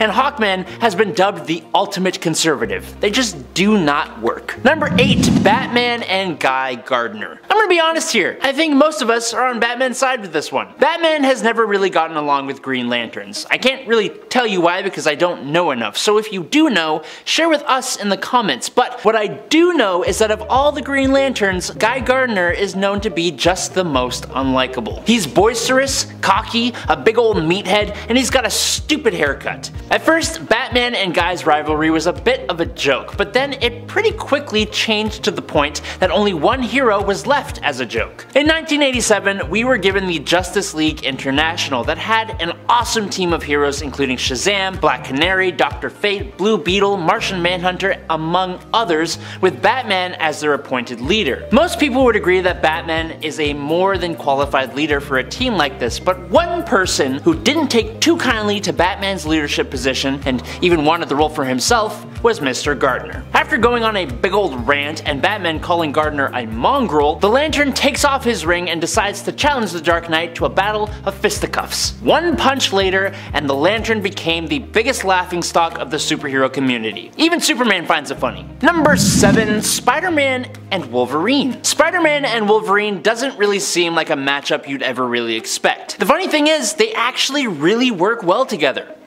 most of the time. It's really funny to see these two work together because you've got one of the most quippy, lighthearted, inspiring, and morally positive heroes teamed up with one of the most grumpy, rageful, animalistic, and brutal heroes in the Marvel landscape. The thing here is that while these two may clash, they're almost like brothers. Think like Wolverine as big brother and Spider-Man as little brother. Spider-Man and his snarky ways has a knack for getting under the skin of Wolverine's short temper. But I mean, we've also got instances of Wolverine hitting on Mary Jane, Spider-Man throwing Wolverine out of an Avengers Tower window, and Wolverine being a little too stabby stabby with his claws for Peter Parker's no-killing preferences. So they have definitely clashed and butted heads. And oh my god, there is also the Ultimate Universe versions of the characters who swapped bodies bodies, with Wolverine being the most creepy creep ever to Peter's girlfriend. But for the most part, when these two heroes show up together, it's a treat. Number 6. Cable and Deadpool. Similar to Wolverine and Spider-Man, most of the times when Deadpool and Cable team up together,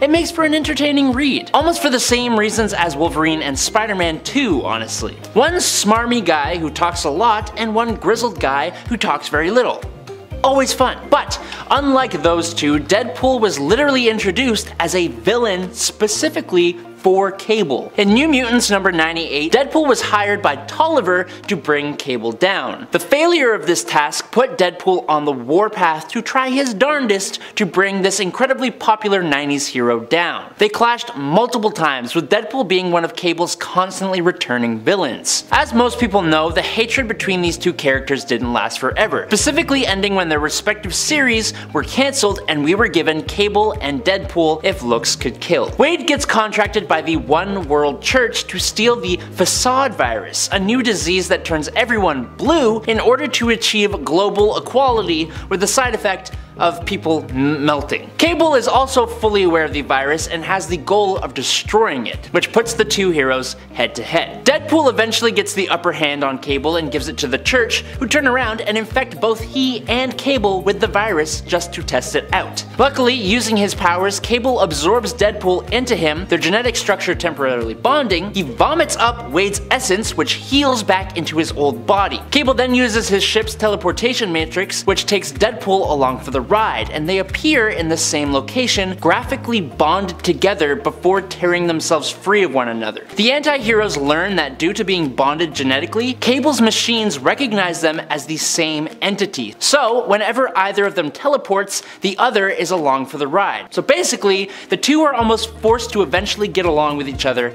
and have a pretty cool, pretty cool relationship. They're kinda cool. Number 5. Miss Marvel and Rogue. Back when Miss Marvel was none other than Carol Danvers, of course. These two women had a long-standing rivalry because of how much Rogue really messed Carol up. Rogue not only stole Carol's powers, but also left her comatose and, upon recovery without much of her memories and emotional connections to her memories. At the same time, this wasn't exactly a walk in the park for Rogue either, who also didn't much care for Carol as Carol's own memories and psyche basically haunted Rogue as a result of their altercation. For a while, these two really did not like and even hated each other. The good news is Carol would actually have nothing to fear from Rogue now, as Rogue has much better control over her powers and doesn't really need to worry much anymore about accidentally draining someone's memories, life force energy, or even accidentally their powers. Number 4. Wolverine and Cyclops. Even more iconic than any other superhero rivalry involving Wolverine is probably the one between him and Cyclops. Now, you could chalk this one up to the fact that Logan is just hot-tempered at times and stubborn, and therefore he just, you know, doesn't often get along well with others. But really, when it comes to these two, it's actually all about the approach to heroism and breaking rules versus playing by them. Which oddly enough doesn't always mean that each person is always advocating for the same principle between those two, but they generally tend to be on opposite sides regardless. For example, if Wolverine is arguing that breaking the rules is the right play, then Slim is usually arguing against that, and you know, vice versa. At the same time, their rivalry is also quite brotherly at times, and at the end of the day, probably a lot like Cap and Iron Man, these two men respect one another and despite their infighting, often would consider the other a part of their family. Number 3. Batman and Superman. These two are often thought of as being the best of friends, and well, I mean, they are. But that doesn't mean that they don't have fights and that they don't have any beef with each other at any point. In fact, in some realities, the differences between them lead the two to become sworn enemies, as opposed to staying the best of friends. The best thing about these two heroes is in fact how different they both are to one another, and perhaps what has made their rivalry and friendship so strong throughout the years and throughout DC's multiverse is that they both see how much they are different from the other. In some cases, they deeply respect and admire the other's differences, in other cases cases, it actually leads them to try and break their once fellow colleague, unable to reconcile and accept the other's differences or mindset. Number 2. Iron Man and Captain America this one feels like a feud as old as time. It's at least as old as these characters are. And in fact, while it does have a long history, it's still relevant today. Captain America and Iron Man clashed during the first Civil War, most iconically, but even recently have been seen at odds with one another following the events of AXE Judgment Day. While Captain America was deemed unworthy by the progenitor, Iron Man's Tony Stark was given a thumbs up instead, leaving the pair to bicker over the judgments and what they truly meant, if anything. During Judgment Day, issue number 6, Tony asked asked Cap after the event, are you okay? With Cap responding, no, and we shouldn't feel okay. It was a wake up call. We should all pay attention and act. Tony clarifies,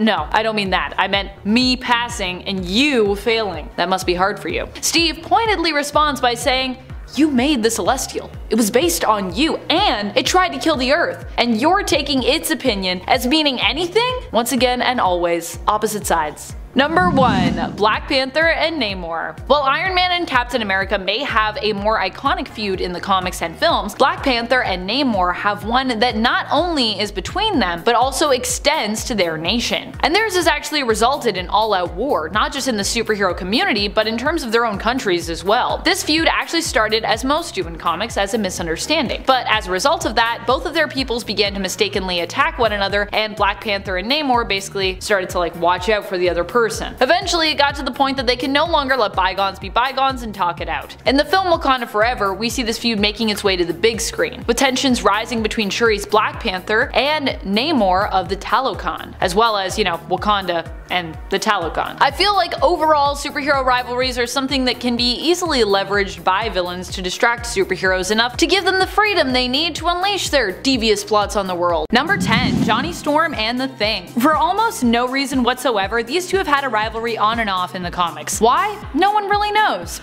Their fighting and arguing comes in the form of trading insults, with Grimm often threatening to kill Johnny. Jeez. The two prank each other and Johnny berates Grimm calling him ugly while Grimm calls Johnny stupid. The two have quite the rivalry. Granted, this most likely comes from a loving place, where they consider one another to be like brothers. But the strangest part is that despite all their fighting and bickering, they seem to have almost no fights between them them when Johnny starts dating Grimm's ex, Alicia, while he is away. Strange feud indeed. Number 9. Wolverine and Cyclops. You may be thinking, but everyone understands this rivalry. Wolverine and Cyclops are just polar opposites. No wonder they fight so much. Sure, this is true, but it's not usually their differences that bring the duo to blows, it's their similarities. Namely that they are often both in love with the same woman. While their love for Jean Grey is as old as time, they even at one point fought over Emma Frost, which seems like it's a bit much. It seems like these two honestly just want to fight each other no matter what. Is it possible that they are not even jealous of the affections of the woman they're fighting over, but the affection that the woman receives from the other? Two dudes fighting as much as Summers and Logan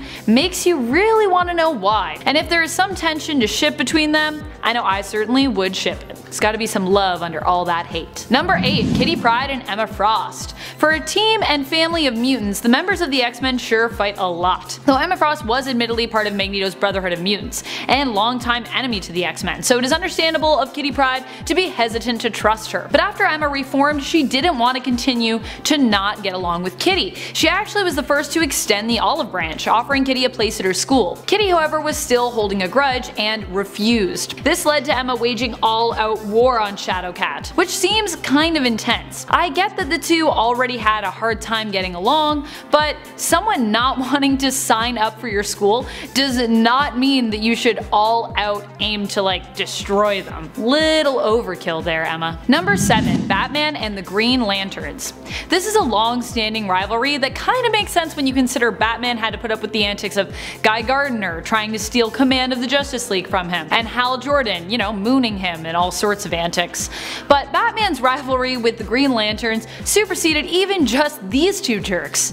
Batman even has a beef with John Stewart, one of my favorite Green Lanterns. Why? John Stewart comes at him for all the Green Lantern hate he spews, calling him out as a man who is just threatened by Hal Jordan because Hal isn't afraid of him. Rather than admit that not seeing eye to eye with Hal is maybe a two-way street, Batman just doubles down. He really does not like Green Lanterns telling him how it is. I mean, I get it in terms of Hal and Guy's case, but John?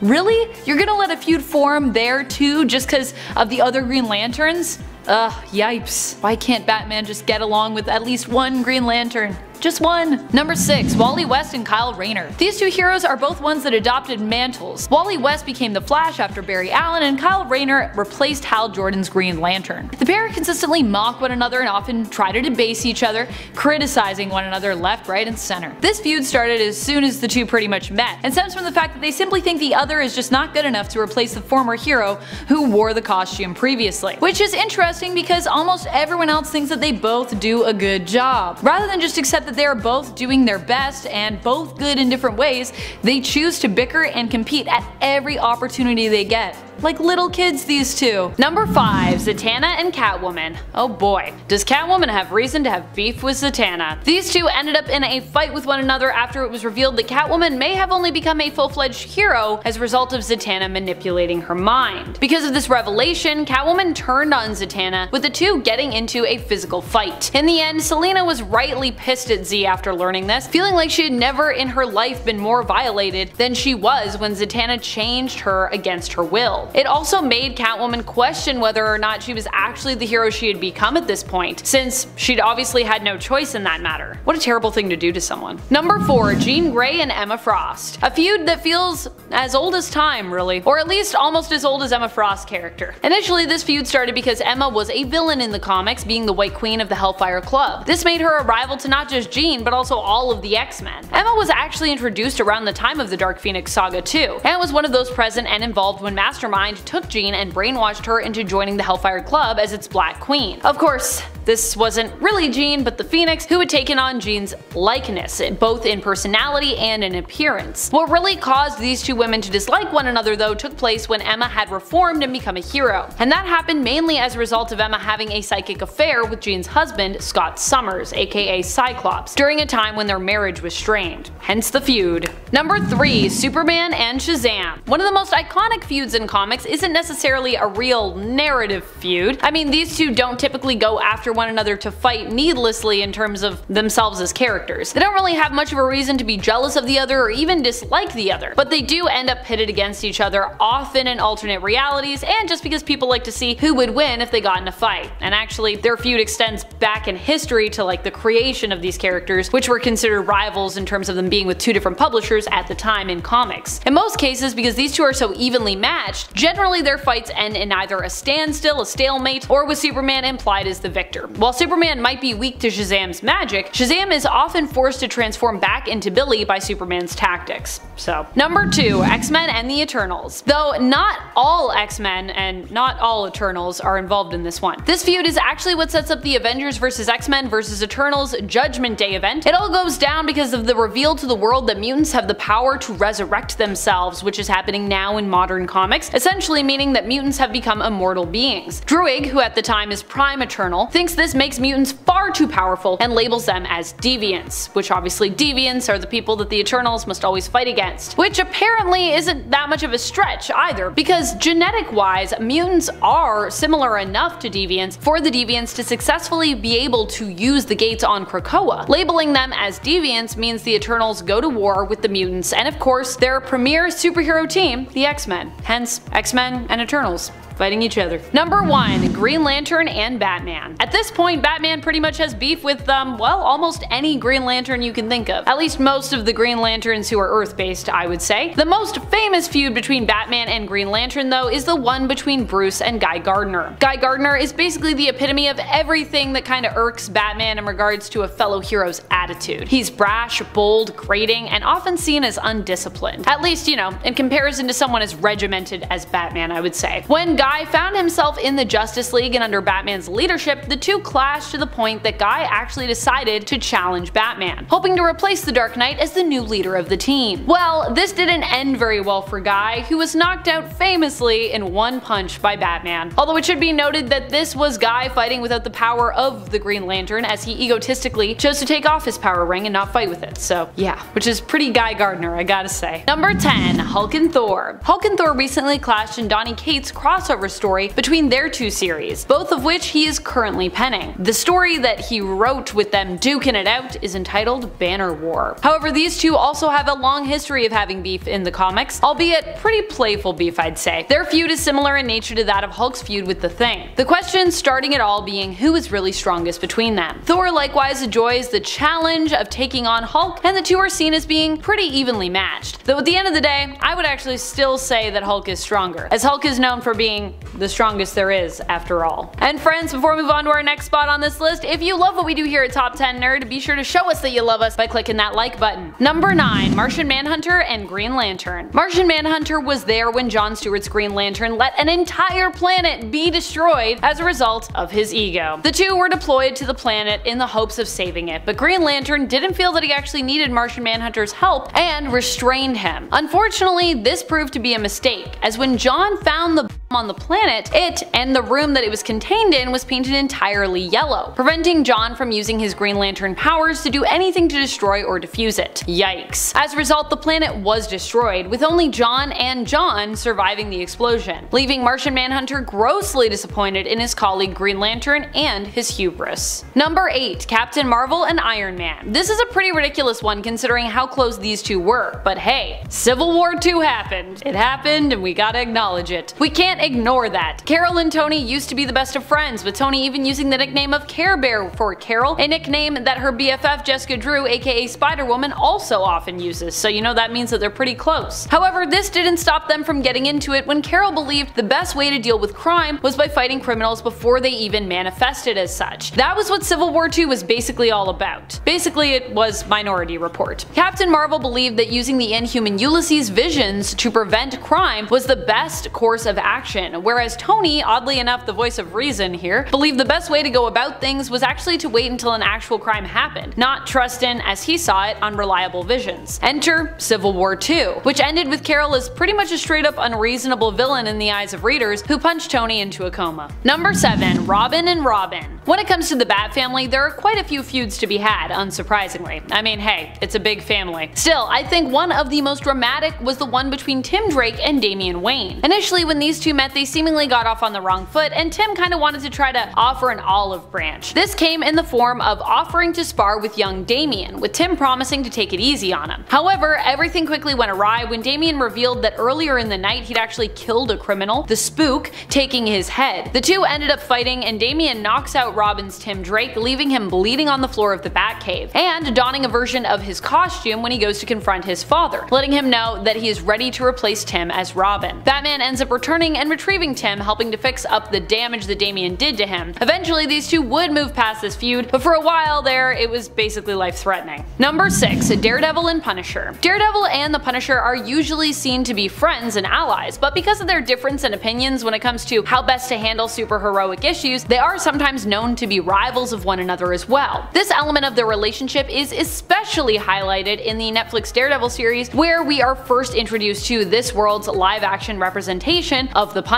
Here, Matt Murdock disagrees with Punisher's tactics, believing he should not kill his enemies or people who get in his way of tracking down his true enemies, whereas the Punisher believes the people he kills deserve it. Although both see the other as a hero of sorts, there are times when they look down on one another or condemn them for their methods. In fact, Frank Castle has likely thought before that Daredevil is not harsh enough when it comes to the way that he doles out justice. Number 5. Cyclops and Wolverine Wolverine has had quite the luck with the ladies over his incredibly long history, but despite that, he couldn't seem to let one girl go. That girl was Jean Grey. Jean Grey has pretty consistently declined the advances of our short, temperamental Canadian, in favor of her boo, Scott Summers, the consistent leader of the X-Men, Cyclops. They just make for a better couple, despite Scott being kinda the worst sometimes. And Wolverine? He just can't stand that fact. He is pretty consistent even to the point of being problematic with his advances towards Jean despite her constant rejection. And Cyclops is no pushover. He is, or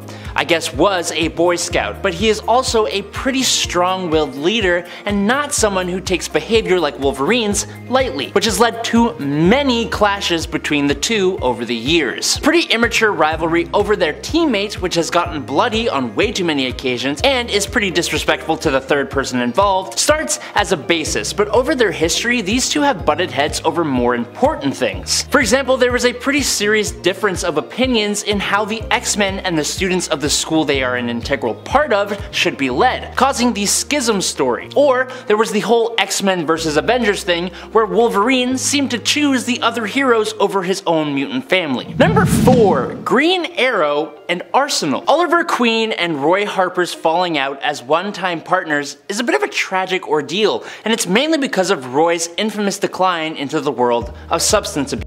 Originally, Roy was Green Arrow's first sidekick, Speedy. He was an orphan that Oliver Queen took in. Oliver basically raised Roy. Roy would also join up with the Teen Titans, and he had a good thing going as a member of the Teen Titans, even dating Donna Troy. But a while later, the Titans disbanded, he broke up with Donna Troy, and Oliver ran into serious financial troubles and basically started neglecting Roy, going off around the country with Green Lantern and Black Canary. This was the trigger that sent him down the path of addiction. Oliver came back from a mission to find Roy red-handed and instead of supporting or comforting his adoptive son, Oliver disowned him, kicked him out on the streets, and gave him a swift punch to the face. As you can imagine, this led to a lot of resentment between the two and Roy struck out on his own, struggling all the while with his issues. He would go on to become Arsenal and eventually Red Arrow, with the bad blood between him and his adopted dad being smoothed over eventually, but those problems of his addiction and Green Arrow's knack for abandoning Roy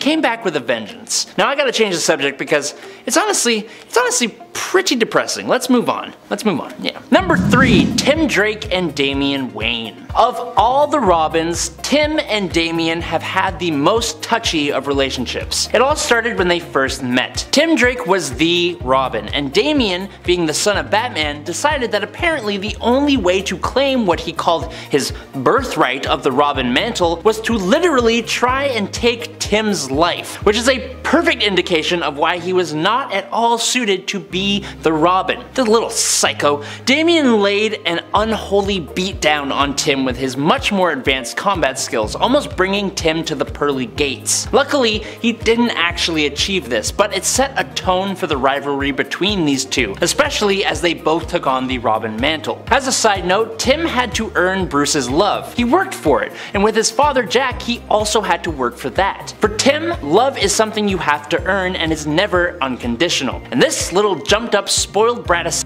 comes in here talking about his birthright with Bruce actually giving Damian the love that he didn't really earn.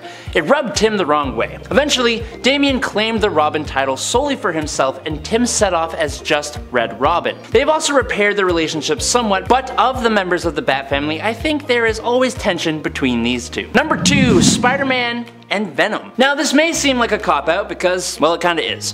Venom was one of Spider-Man's greatest villains, basically the literal antithesis to Spider-Man. Venom had almost an obsession for Spider-Man, like a really, really dangerous symbiotic ex-girlfriend. Venom almost pined for the connection he lost with Spider-Man. When the rejected alien bonded with Eddie Brock, whose life was arguably ruined by both his own and Spider-Man's actions, the combo made for a deadly villain who hated Spider-Man with almost every fiber of his being. When Venom started to lean into the role of being an anti-hero, the only real reason these two began to leave each other alone was because Venom moved across the whole country to San Francisco. I guess they just needed some space because over time they began to accept each other, becoming reluctant allies at times, especially in the Absolute Carnage story, which finally began to see the relationship heal. Eventually, in the aftermath of the King in Black story, almost seeing each other as brothers. The tension is still in the air to a degree if you ask me, and crazy exes be like that sometimes.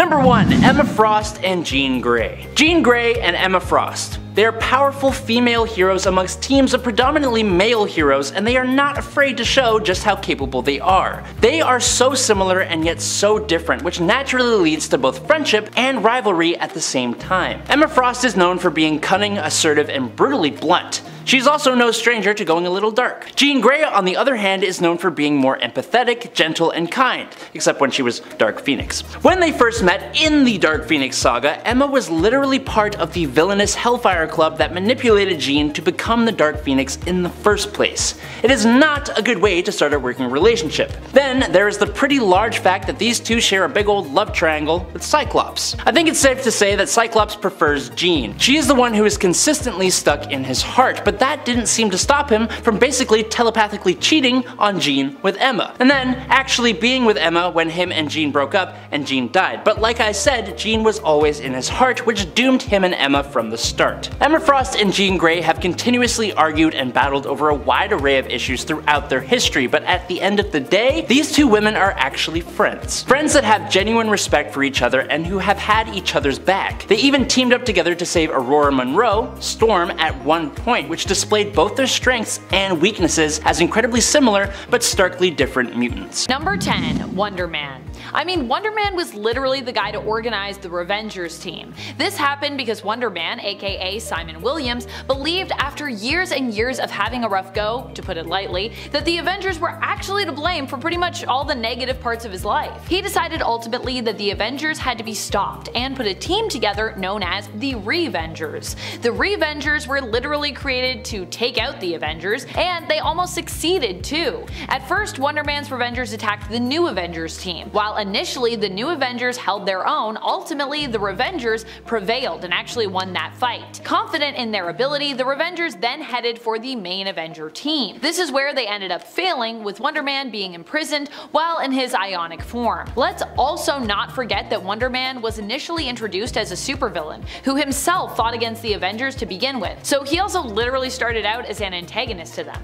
Albeit one who was eventually redeemed and ended up ultimately joining the team he had been sent to destroy. But, you know, he's got a long history with them. And friends, before we move on to our next spot on this list, if you love what we're doing here at Top 10 Nerd, why not show us you love us by clicking that subscribe button. Number 9. Young Avengers. Hate might be a strong word here considering that the Young Avengers, you know, are inspired by the main Avengers team, but you can't deny that the Young Avengers at least have some beef with the team that inspired them. At least, you know, they did when they first formed. The Young Avengers, as inspiring teen heroes, actually wanted to learn from their mentors and sought to be trained by them, actually reaching out to the Avengers. However, when they tried to reach out to, you know, get training and get some help and pointers, they ended up being turned away, with Captain America actually refusing to teach them anything initially and even attempting to discourage their attempt to become heroes. In fact, initially the Avengers even tried to prevent the Young Avengers from facing Kang, and even sided with Kang against the Young Avengers member Iron Lad. Kang had in essence shown the Avengers some awful visions of the potential future, were Iron Lad not to fulfill his destiny in becoming Kang, and the Avengers were basically convinced by this. Fortunately, the Young Avengers weren't so easy to lock away, so they managed to escape confinement and prepare for the battle against Kang. Although Iron Lad would ultimately return to his own timeline, resigned to become Kang one day. Times have changed and the Young Avengers have largely become accepted by the Avengers who came before, but the start there, it was kind of rocky. Number 8. Hulkling. During the beginning of Empire, you could definitely argue that Hulkling kinda hated the Avengers, at least for a moment, considering that they were siding with the Alliance's enemies, the Kotati. However, once the Avengers learned the truth of the Kotati's plans and their vendetta to in essence destroy all organic life, it became clear to them that the Alliance were actually more the side to ally with in this intergalactic fight. In fact, the whole reason that Hulkling had in essence been able to bring together the long warring empires of both the Skrull and the Kree to create the Alliance, other than you know his parentage being a Kree Skrull hybrid, born both of Skrull royalty and a celebrated Kree war hero, was because of this unified threat, the Kotati. Number 7. Spider-Man. While Spider-Man has himself been an Avenger that doesn't mean he's always seen eye to eye with the team or always gotten along with them. In fact, at one point they kind of betrayed his trust, or at least, you know, one of them did. Yep, I'm talking about Iron Man during Civil War, the first Civil War, baby. It was during Civil War that Spider-Man was convinced by Tony Stark to reveal his true identity to the world as part of a push for the Superhuman Registration Act, revealing that Spider-Man, aka Peter Parker, stood with Iron Man, aka Tony Stark, and supported the act. Stark believed that for accountability's sake, it was actually really important to reveal their civilian identities to the public. Of course, this almost immediately backfired, with a hit being put out on Peter, and after an attack on his life went wrong, and May ending up in critical care. It would ultimately be Peter's choice to side with Avenger Tony Stark that would result in Mary Jane and himself making a deal with Mephisto to restore Peter's secret identity and save Aunt May in exchange for their marriage. So yeah. Number 6. Miss Marvel. Carol Danvers, now known as Captain Marvel, has had a complicated history with mutant kind, to put it mildly. Initially, her powers were stolen by then mutant villain Rogue. Rogue didn't even really mean to actually steal Carol's powers per se, it was kind of just a result of her attacking Carol that this happened because, I mean, that's what Rogue does, those are his her powers, she like takes the power away from people, takes their life energy, and you know, at the time her powers were very volatile and uncontrollable. She since has come into her own and even has become a hero, and is actually more well known for being a hero than a villain at this point I'd say. And while even after Rogue became a hero, many of her powers, to this day even, still came and come from Carol Danvers, who was then known as Miss Marvel, there has also been a history of friendship with Carol and the X-Men team. Professor X and the X-Men actually took Carol in after she lost her memories and her powers following her interaction with Rogue. And Carol actually fought alongside the X-Men as part of their team for quite some time, basically being an ally to them, despite not even being a mutant. But she has definitely had a big beef with Rogue in the past, and Rogue has been an X-Man. We cannot deny either of these facts, so hence why she's on this list. Number 5. The Fantastic Four. We discussed how much Reed Richards seems to dislike the mutants on part 1 of this list, and while Adam also touched upon all the times the FF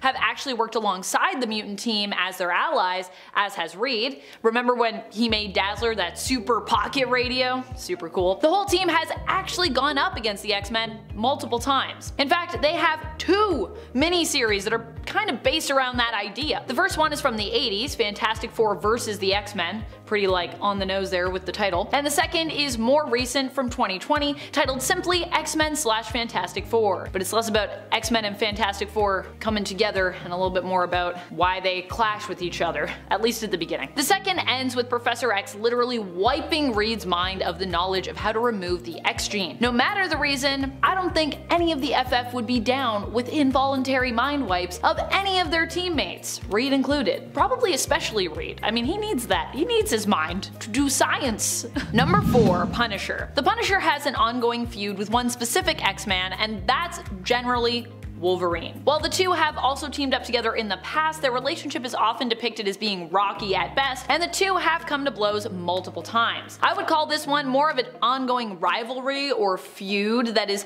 mainly fueled by writers and fans who bicker about, you know, which one of them is the toughest around, which one of them's the toughest guy. That's me being a fan that's just bickering about tough guys. Although I've definitely done that before and I don't sound like that when I do it. Or do I sound like that? Maybe I do. Personally, I would say Wolverine is tougher if I'm getting into that bickering argument debate with fellow nerds, both mentally and literally. But I also respect those who take Frank's side. After all, Frank is still a super tough person, and I'm not gonna try to argue that he's not. Still really tough, so fair if you prefer Frank. Number 3. The Inhumans. We've now talked about Black Bolt and Medusa specifically on the channel, but the Inhumans in general kind of have good reason to hate the X-Men, thanks to mostly Emma Frost. Initially, the Inhumans were actually trying to cancel the feud with the X-Men in Inhumans vs. X-Men, also known by the short form name of IVX. Truly, this story was a little bonkers in regards to, you know, making the conflict here make sense, but hey, if editorial comes to you and they say this is a story that has to happen, you kind of have to come up with some reason, so I don't even think we can blame creatives on this one. Because I'm pretty sure this story came from editorial wanting it to happen, not creatives pitching it. The reason we were given here for this weird fight is that the Terrigen mists were released on Earth but ended up acting as basically a poison to the mutants. As such, the X-Men and mutant kind felt very targeted and they did some not so cool things in response to try to hurt the Inhumans, Emma Frost led the charge and she pumped everyone up by staging a telepathic public death of Cyclops, which wasn't real, he had already died at that point, and this whole thing was blown out of proportion when the Inhumans initially kinda actually tried to resolve this issue peacefully, but were attacked when they attempted to even extend an olive branch, which incited the war between the two groups. So while they didn't want to hate the mutants initially, that wasn't their goal here, it certainly did turn out that way by the end, or at least by the midway through the story. Though really, everyone turned on Emma when they learned how she'd manipulated them, the mutants, into fighting against the Inhumans, because yeah, not a great look for Emma Frost. Number 2. Hulk. Hulk is well known for his beef with Wolverine. I mean, Wolverine literally first appeared in a Hulk comic where, you know, he was the villain, or at the very least he was the antagonist of that tale. Hulk also at one point attacked the mutants during World War Hulk. Granted, he had less of a beef with the X-Men than he did with their at one time mentor, Professor X, who he wanted due to his connection with the Illuminati, because at that time the Hulk was like, the Illuminati messed up my life. But still, the fact that the X-Men were not involved in what had happened to Hulk on the planet Sakaar did not stop him from attacking other mutants initially. They basically had to shame Hulk into walking away in order to survive that fight, and even then Hulk seemed like he didn't really want to back down. And of course there have been other mutants in the past who have come to blows with Hulk besides, so it's not even the only time that this has happened or the only folks that have been affected. Number 1. Avengers. I mean we touched on it a bit on part 1 of this list when Adam talked about Captain America and Iron Man. He even talked about another few Avengers as well that have beef with the X-Men and mutant kind in general on his part 1. If you want to know who exactly was included, I highly recommend checking it out. But I digress. You've probably heard of a little well-known event called Avengers vs. X-Men. This event stood to highlight some of the feuds between the two teams and their individual members that have been brewing for basically years. Chiefly though, the fight was over the Phoenix Force in terms of the story here. The Phoenix was returning to bond with, as the mutants believed, its current ideal host, Hope Summers. The Avengers wanted it gone. The two fought each other. Which now seems ironic since although the Phoenix has long been linked to mutants and mutant based stories and the Avengers were very anti-Phoenix at that time, the Avengers now work with the Phoenix themselves as the Force is currently bonded with Avenger member Echo. So love how they thought about it and then they were just like, well, that's uh, you know, now we're gonna use the Phoenix, now it's our buddy weird. I've said it before and I'll say it again, I was raised to believe that the word hate is a very strong word, so I'd more say that these are characters or groups who have actively had in my terms, a strong dislike for the X-Men or mutants in general at one point. Number 10. Scarlet Witch. Okay, so Scarlet Witch might not be as hated as some when it comes to the general public, but she sure has had her share of hate when it comes to the mutant population. In issue number 7 of 2019's X-Men, mutants even express their hate as part of a ceremonial rite of passage called the Crucible that involves revisiting her story. Young mutants who have likely only experienced what happened as a story profess their hatred for Wanda and call her Pretender. Pretender, pretend her. I hate her so much. I hate her so much. And I'm like, no, she wasn't meaning to be a pretender. And before this, Rogue was the one who led the charge when it came to the mutant community blaming Scarlet Witch. Rightly, albeit maybe not fairly, for the whole M-Day ordeal and threatening the very existence of mutant kind. Number 9. Thor and the Avengers. During the Fear Itself event, Thor was struggling with his place in the world. He was hated because the events of Siege, while not his fault directly, had not only caused destruction in Asgard, but also in neighboring Earth residing communities. Many of the people living in one of the towns resented the superhero community for causing danger to come to them. We've seen this a lot actually in movies and comics too. Some had their homes destroyed and couldn't even afford to rebuild, choosing to sell and move out rather than stay and wait for the superheroes to attempt to save the day again and help them rebuild. Not all of the town felt this way, but then a coming war between Midgard and Asgard also was approaching, fueling some of the hate from the public in regards to Thor and the Avengers team. Of course, Asgard was only aiming to destroy Earth to prevent the serpent from feasting on all of the human spheres and becoming even more powerful. But this only added insult to injury as the serpent, you know, was also already bent on conquering and devouring Earth himself. I mean, Thor recovered, but this was a pretty tough time for the Thunder God and a pretty tough time to be anyone from Asgard or any sort of Norse mythology. In the end, it was really only his self-sacrifice that managed to redeem him. Cause he died. But then he's then he was okay. You know how it goes. Number 8. Silk. Silk is Cindy Moon. She has similar powers to Peter Parker's Spider-Man including a built-in danger sense, but she can actually also produce her own organic webbing which I think actually is really cool. Hers is probably the least gross, I think. She even sometimes uses the skill to spin herself a disposable silk suit spider costume. After her and Peter dated or hooked up for a bit, she ended up settling back into her own life and searching for her family. She had been locked up in a bunker for years, long story. Anyways, like Peter much later on, she also got some of the J. Jonah Jameson treatment when it came to her superhero persona of Silk. Though even Jameson himself very much liked Cindy for a time in volume 1 of her series when she was working for him. Number 7. Green Lantern. When comics made the choice to turn Hal Jordan into Parallax and had him basically threaten the entire DC universe, they also created a world of hate for him, with some readers but mostly within the comic book world, and especially in the realms of the superhero community. Even today, more than 20 years later, people still bring this up in the comics. People are not over it. They're like, remember that time you pretty much like almost killed everybody?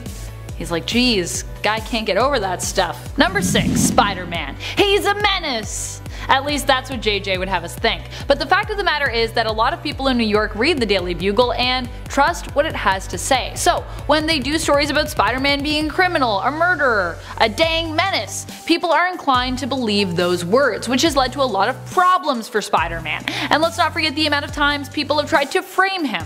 Right from the beginning, Chameleon himself tried that ploy, and we've seen it happen a few more times in the comics as well. He's just so frameable, Spider-Man, isn't he? Number 5. Bishop Bishop and Gambit. This duo have also butt heads ever since they first met. Bishop comes from a future where the X-Men have perished after being betrayed by one of their own, and mutants were put into concentration camps. I said that like I didn't know I wrote it, but I just felt like it sounded harsh. He met a man called the Witness who refused to give his name and claimed to know the story of the X-Men, saying that he was the last one to see them alive. He also went by LeBeau, and it was his similarity to Gambit that instantly made Bishop hate and not trust him. While I understand Bishop's reaction, he just continued to not trust Gambit for pretty much forever. Even when the two are forced to work together, he continued to insult and berate Gambit, often putting both of them at risk due to ignoring Gambit's suggestions while on missions, just because they came from him. I also really don't think that the witness was the traitor. This is a silly grudge because it is based on so many assumptions. Number 4. Reed and Namor Cyclops and Wolverine may be fighting over Jean, but it is this fight over a paramour that really takes the cake. Oftentimes when I bring up Namor, I put him in either category, villain or superhero.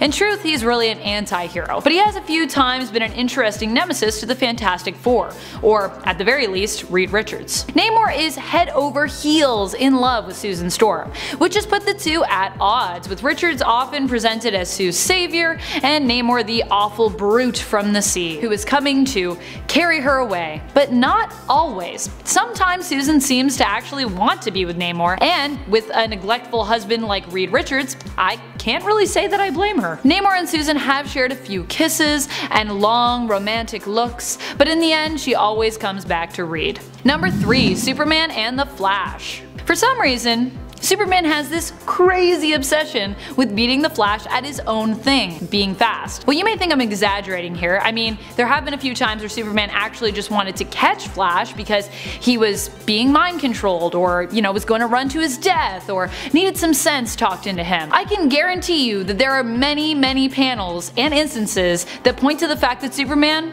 just really wants to be faster. He has also had countless foot races with countless flashes, and almost every time he's either tied or lost, with more losses than ties. Yet even though they have been racing since the 60s, in 2011 Superman is chasing Barry Allen's Flash in Superman issue 709 and is still seen wondering to himself in a panel, which of them is faster? Give it up Superman, it's not you. Quit trying to take this one thing away from the Flash, you have a million other things you're superior at. Jeez. Number 2. Hawkeye and Winter Soldier. Are you surprised by this one? I know I am. Hawkeye and Winter Soldier have something in common, beyond both being superheroes. Super, in Hawkeye's case. They are both exes of Natasha Romanoff, aka Black Widow.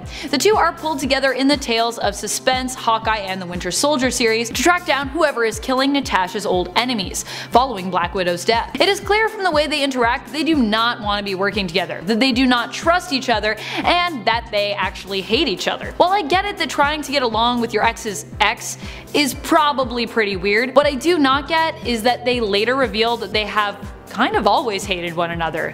Which means this feud predates their time dating Natasha? What? But why? So this rivalry is kind of based around them sharing an ex, but also just based around I guess them both existing. Number 1. Wolverine and Deadpool. These two have a long-standing rivalry for almost no reason. They often fight just to fight. At one point in the comics, Deadpool fights Wolverine because a doctor prescribed him to fight a superhero to help fix his hallucinations. Another brutal fight they have ends with Wolverine offering to buy Deadpool a beer. Mostly, these two fight just because they can. They both have insane regeneration factors, which means they can usually take the fight as far as they want and make it as violent as they desire, and still both be fine. It is a really strange relationship. Of course, Deadpool does take it far enough to kill Wolverine when he brings a carbon carbon adamantium sword to take him on when he kills the entire Marvelverse. But don't worry, that death is not part of the main continuity. Wolverine is fine. Beyond this, there is also the hilarious rivalry that translated weirdly to the X-Men Wolverine Origins film, and beyond that the Deadpool movies, where Deadpool just enjoys poking fun at Logan. I suspect the two might actually secretly be BFFs. Number 10. Batman and Green Lanterns. I don't know about you guys, but I have always sort of loved how Batman and various different Green Lanterns just kind of never get along. Actually, he has this weird thing against Green Arrow as well. I'm, I'm thinking maybe Bruce just hates the color green in general. No, it usually has more to do with the attitudes and personalities of the individuals themselves. So, for example, Batman and Guy Gardner had a pretty obvious disdain for each other when they were both part of Justice League International, and it eventually led to Batman straight up punching the lights out of Guy Gardner. Now, to be fair, no one likes Guy Gardner, he's just kind of the worst. Even the rest of the Justice League International were like, yeah, that guy needs to shut up. And they all left for their mission after Batman knocked him out, just leaving him laying there on the floor. There was also the time Hal Jordan came back to life after the little parallax thing happened, and Batman did not trust this guy one bit. Batman kept getting in the way of Hal, who was trying to actually go and defeat Parallax properly. In this case, it was Hal who did the punching, and, and Batman kinda deserved it, but he still got his, his, his comeuppance for that one. Also, when the Justice League came together for the first time in the newer continuities, I think after New 52, Batman was just like a little sneaky prankster to Hal and stole the power ring off him just to be like, I'm better than you. It's kind of hilarious. Batman has also scolded Green Lantern Simon Baz for carrying a Blam Blam, and he's had shouting matches and beat the snot out of Green Arrow for speaking up against Batman. It's a bit of a lighter rivalry, but I swear he's got something against the color green. I, I think it's a fact. Number 9. Aquaman and Black Manta. While Aquaman has two major villains with Ocean Master and Black Manta, the latter of the two just goes the extra sadistic step with this villainy. Black Manta is a man who will go into and come out of retirement based on whether Aquaman is around or not, and the rivalry has just gotten more and more personal for them both over the years. In fact, it kind of rivals all other rivalries, but it is Aquaman, and as much as we all love Jason Momoa, Aquaman just ain't that cool, man. He just ain't that cool. He has been, I don't deny it, and the Aquaman stands are going to come at me for this one, but if you like him, let me know in the comments and give me three reasons why that don't stem from the fact that everybody hates on him. But back to the point, Aquaman was convinced that Black Manta was responsible for the passing of Aquaman's dad and he very well might have been, but Arthur's quest for vengeance on that one brought about the accidental end of Manta's dad, so of course Manta needed his revenge, and so he pitted Aquaman against Aqualad by trapping Arthur's wee bab in a bubble of air, causing it to suffocate if the Aqua allies didn't duke it out. And even though they totally did duke it out, it didn't stop anything. And then, even later on, Aquaman even took on Manta's son as a protege, which is like a huge insult to the villain who is arguably your number one rival. That part was actually kind of cool. I'll give Aquaman that one. That, that one thing that you did was kind of cool. Also when you had the hook for your arm, that was cool too. Number 8. Black Lightning and Tobias Whale. Black Lightning simply does not get enough love, but his comics and even the show are actually pretty cool. His main rival, Tobias Whale, was the leader of the gang called the 100, and Jefferson Pierce, Black Lightning, decided that he was going to become pretty outspoken against this group, which prompted Whale to take out one of Pierce's students. This is what created Black Lightning in the first place, but it wasn't the only beef the two shared. Pretty much like Aquaman, Whale had a large hand in the passing of Pierce's dad. After a while, the rivalry would actually travel over to Gotham City where Tobias decided to try and establish himself there, and he and his gang were a bit too much for Black Lightning who had to call on Superman for help, which I also think is kind of lame. He could have definitely handled it on his own. But I mean, where Black Lightning called on Superman, there was a time that Tobias called on a demonic entity, so I mean, tit for tat, I guess. If you haven't already, be sure to drop a like on this video if you like it. Your support really helps us out. Also, we have another video that goes over some of Marvel's biggest rivalries as well, so definitely check that out. But in at number 7 is Deathstroke and the Teen Titans. If you have watched the animated Teen Titans series, then you know their number one most persistent villain is Deathstroke Slade Wilson. His cunning, intense, immoral way of completing his missions have made him incredibly hard to bring down, even compared to other massive threats the Titans face. But over time, guess what? Yes, that's right, it became hella personal. Deathstroke's son, Ravager, had his life ruined after Starfire crashed into his apartment, and then Ravager and Deathstroke fought the Titans together until Ravager passed away in his own dad's arms, which then compounded Deathstroke's hate for the Titans since he blamed them for it. And then we have the massive can of worms known as the Judas Contract. Here, the Titans welcome a new member onto the team who ends up being Rose Wilson, the daughter of Slade. She goes and betrays the team and takes up the Ravager moniker after her brother, and that also ended not very well. It's just a whole whack of hate composed in one person. Deathstroke. I'm talking about Deathstroke. Number 6. Superman and Brainiac. Finally, a rivalry that isn't predominantly fueled by personal tragedy. No, in this instance, the rivalry is just so good because it brings out a whole other side of the Man of Steel, his intelligent side. Whenever Superman goes up against Brainiac, his incredible strength begins to fall at the wayside. Brainiac has even beaten the Man of Steel a few times, and what's interesting is that Brainiac is actually the one here who has made a bunch of personal blows on the Man of Steel. Usually it's a bit more fair with heroes also making a few mistakes, but because Superman is DC's golden boy, we can't have him messing up too much now, can we? Or, if he does, it had better be in an alternate storyline. Brainiac shrank Kandor and Krypton and carried them around as part of his collection. Another time Brainiac had Superman distracted which opened the door for him to get at Jonathan Kent. Superman has teamed up with General Zod against Brainiac. It goes that far sometimes, but my absolute favorite Brainiac moment is probably one of his kind of smaller ones. It's actually in Superman Red Sun, but I'll let you check that out for yourself because I'm moving on. Number 5. Deadpool. While movie-going audiences may love Deadpool, not everybody does. Not only is he considered a major menace within the superhero community who no one really wants to team up with, sadly, but his disregard for human life and his violent nature also make him feared by your average civilians in the comic book world as well. Number 4. Booster Gold. Although he does for a time end up achieving celebrity status, Booster Booster Gold is still probably one of the least liked superheroes across the board in the DC universe, likely because his heroics all appear to be for the fame.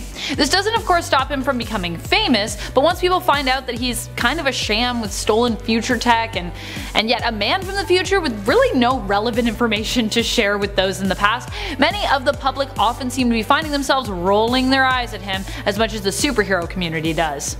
So really no one likes Booster Gold, poor dude. Number 3. Batman. Now I know what you're thinking, wait, but everybody loves Batman. I would offer that more people fear him than love the Bat, and while he may be remarked as a hero by civilians in Gotham, this isn't always the case. In Christopher Nolan's Batman universe, Batman even had to go into hiding at the end of Dark Knight after choosing to take the fall for murders attached to Harvey Dent's descent into madness and transformation into Two-Face. Even though Commissioner Gordon knew Batman was innocent, he was forced to pretend to pursue him and publicly label Batman a criminal and a murderer. Batman himself understood the importance of maintaining the faith people had in Dent and in the system. To protect Gotham from devolving into chaos like the Joker wanted, the system and those who operated within it needed to be viewed as the real heroes at this time. And in many alternate universes, not everyone who has played the role of Batman has acted as heroically as the main continuity Bruce Wayne has. In the Tales from the Dark Multiverse series, we get to see a world where Azrael stayed as Batman and turned Gotham into an ironclad, fascist-ruled dystopian. And in this reality, even when Bruce does get the title back, his views and approach appear to be just as bleak and horrifying. It's like, oh actually maybe now Bruce is worse.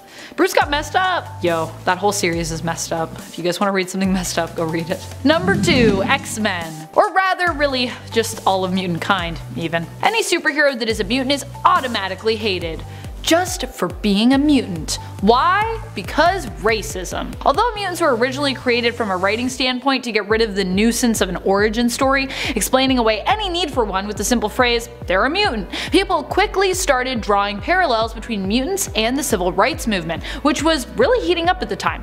Although it's hard to pin down the exact starting date, a big moment for the civil rights movement first happened in 1955, when Rosa Parks refused to give up her seat to a white passenger on a bus in Montgomery. The first issue of Uncanny X-Men was released in 1963, eight years later, and people's minds started to unite the two causes, making the fictional mutants the parallel for all the real-world races that had experienced racism. And people's minds started to unite the two causes, making the fictional mutants the parallel for all real-world minorities that had experienced racism. As such, the mutants themselves have to face a bigger world of hate in the comics since their introduction, fighting the good fight for mutant rights. They likely have had actually more hate groups than one could even count. I don't even know how many hate groups they had. I, no, I know it's a lot.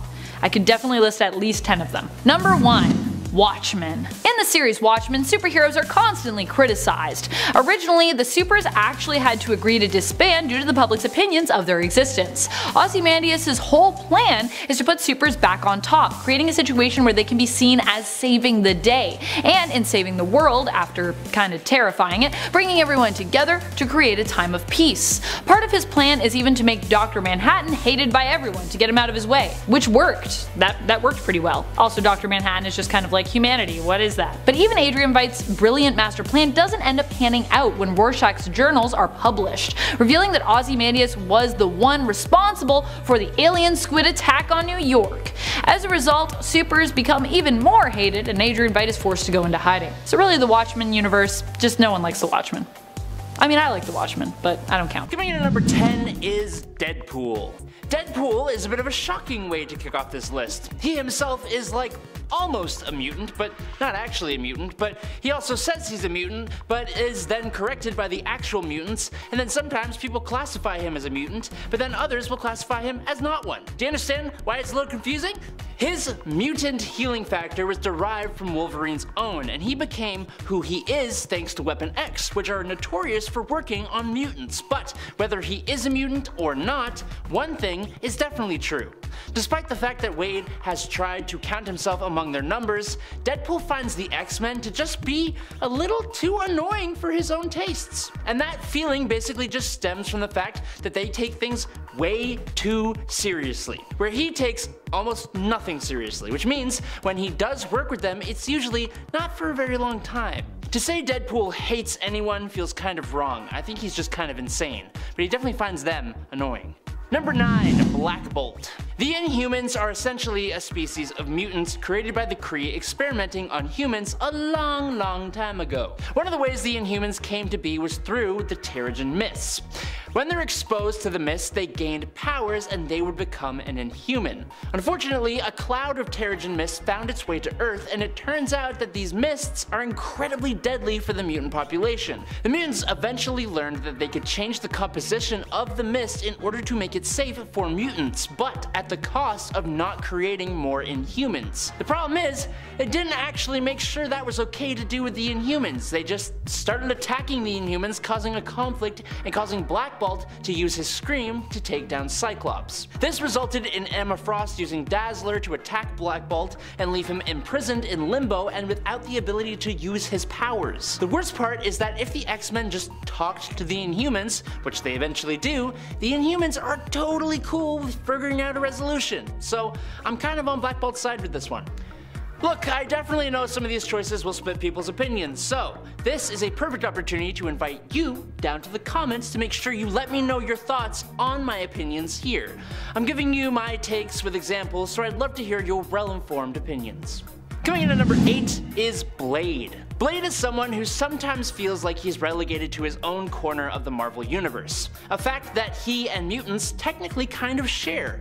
But Blade is also pretty damn ruthless. His main self-appointed purpose in life is to eradicate vampires. It's what he lives for. But when one of those vampires is also a mutant, then it causes some discourse. During the X-Men Curse of the Mutants, the X-Men, and more specifically Cyclops, asked this vampire slayer for his expertise and assistance in dealing with their vampire problem. When the depowered mutant Jubilee was turned into a vampire though, Blade wanted to exterminate her, straight up, which shouldn't have been a surprise to anyone.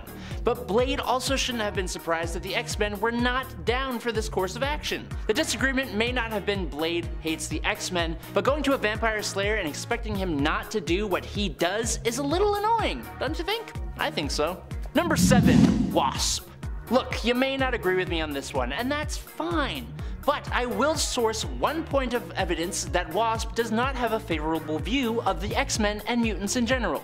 In Uncanny Avengers, which followed the X-Men vs. Avengers arc and ended with the passing of Xavier at the hands of Cyclops, Captain America decided that the best way to repair things was to put more mutants onto the Avengers and have the new team, led by Alex Summers, Havoc. That's Cap cherry picking the best looking mutants to represent them, but the addition of a few mutants to the Avengers under the ideology of a Professor X meant that some things changed around the Avengers mansion. Like when Rogue tried to replace a painting of the original Avengers with a painting of Xavier. It's in a bit of poor taste, sure, but when Wasp walked in on it happening, she was more than a little upset. And it seemed genuinely anti-mutant to me, just a little bit. And then she had this whole weird thing where she tried to design an X-Men themed clothing brand, including Cyclops themed glasses that seemed in poor taste, to help fund the Avengers. And she referred to UX types as being depressing and not optimistic. Then in issue number 8 of that series, she makes another comment about the quote, X-Men types and how they are keeping secrets. She just makes all these little snide comments about the mutant members of the team. She definitely has some kind of hate going on here. I don't care what you say, it's true. Wasp acts like all mutants are superheroes, for sure, but superheroes who don't know what they're doing, and that's rude. And it's six Elongated Man. Now, at least within the context of the show, Barry Allen and Ralph Dibny, aka Elongated Man, did not like each other when he was introduced. Ralph Dibny is a former police detective of the Central City Police Department and a private investigator. He was fired after Barry him planting evidence to ensure the conviction of a man who Dibny was certain was guilty, but of course, planting evidence is illegal and it got him thrown off the force, because, you know, Barry reported him, causing him to have to turn into being a pretty piss poor PI, honestly, but also starting to hate Barry. And Barry hated him, due to not only his own strong sense of justice, but also the fact that his father was an innocent man in, in prison for a crime that he didn't commit. So you can kind of see how planting false evidence would kind of trigger some anger. In the pre-Flashpoint timeline though, Ralph was one of the people who lost their lives during the Star Labs particle accelerator explosion. However, he reappeared alive in the post-Flashpoint timeline, gaining his powers due to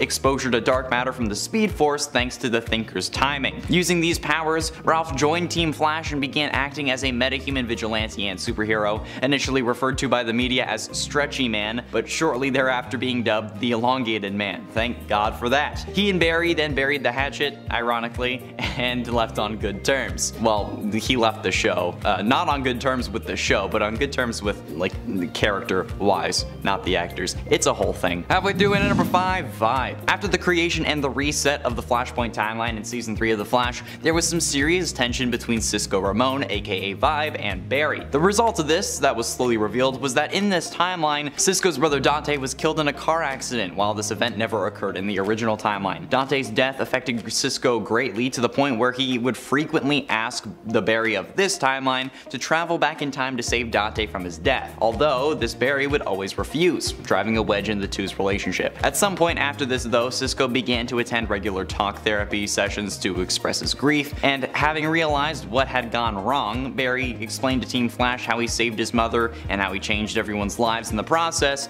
which only angered Cisco more. Because now he knew that Barry had saved a member of his own family, but refused to do it for a member of Cisco's. They eventually made up, but Cisco definitely hated Barry for a good chunk of this season, being at odds with him even during the Invasion crossover event of that season until like the last part of it when Barry was going to sacrifice himself to the Dominators, and then Cisco's like, you're my friend, and I'm like, how does that clear everything up? But oh well, they had to do it. And at 4, Green Arrow. Oliver Queen, also known as Green Arrow, is arguably the most politically aware superhero in DC Comics. He advocates for the common people and doesn't have much patience for those who don't. And while he may not be the most powerful member of the Justice League, he is still important to the team, serving as a grounding force. In The Flash and Green Lantern Brave the Bold number 4, Oliver strongly disagrees with Barry and is just, there's, there's a whole thing. He's appalled by the brutality of the police system and is disappointed that Barry is not more aware of it. While Barry believes that the police keep law and order in the city. I mean, like, I guess it would make sense for him to have that view because he's a CSI, but he's also a superhero who's doing the cops job better than the cops. So Oliver thinks that the cops need to be monitored more closely and he wants Barry to see that and just not be naive about it. But yeah, it causes some conflict as you can uh, suspect if you've ever been on Twitter. Hal Jordan watches the arguments between the two, feeling powerless to intervene, but eventually they do reconcile their differences, but this clash of opinions was not resolved permanently. Green Arrow is a politically aware superhero who champions the common people. Yeah, when he disagrees with the Flash on the issues of police brutality and the like, definitely gonna cause some friction. Although this isn't a thing in the TV show, but I mean, they also had to give Barry a mentor because he had to figure out how to be a hero somehow. So, getting close to the end in number three, Supergirl. In the new 52 storyline, Kara Zor-El arrives on Earth to a world that she doesn't fully comprehend and that fully doesn't understand her. Despite Superman's attempts to help her integrate into society, she still feels like an outsider and yearns for her lost home. So when the Kryptonian villain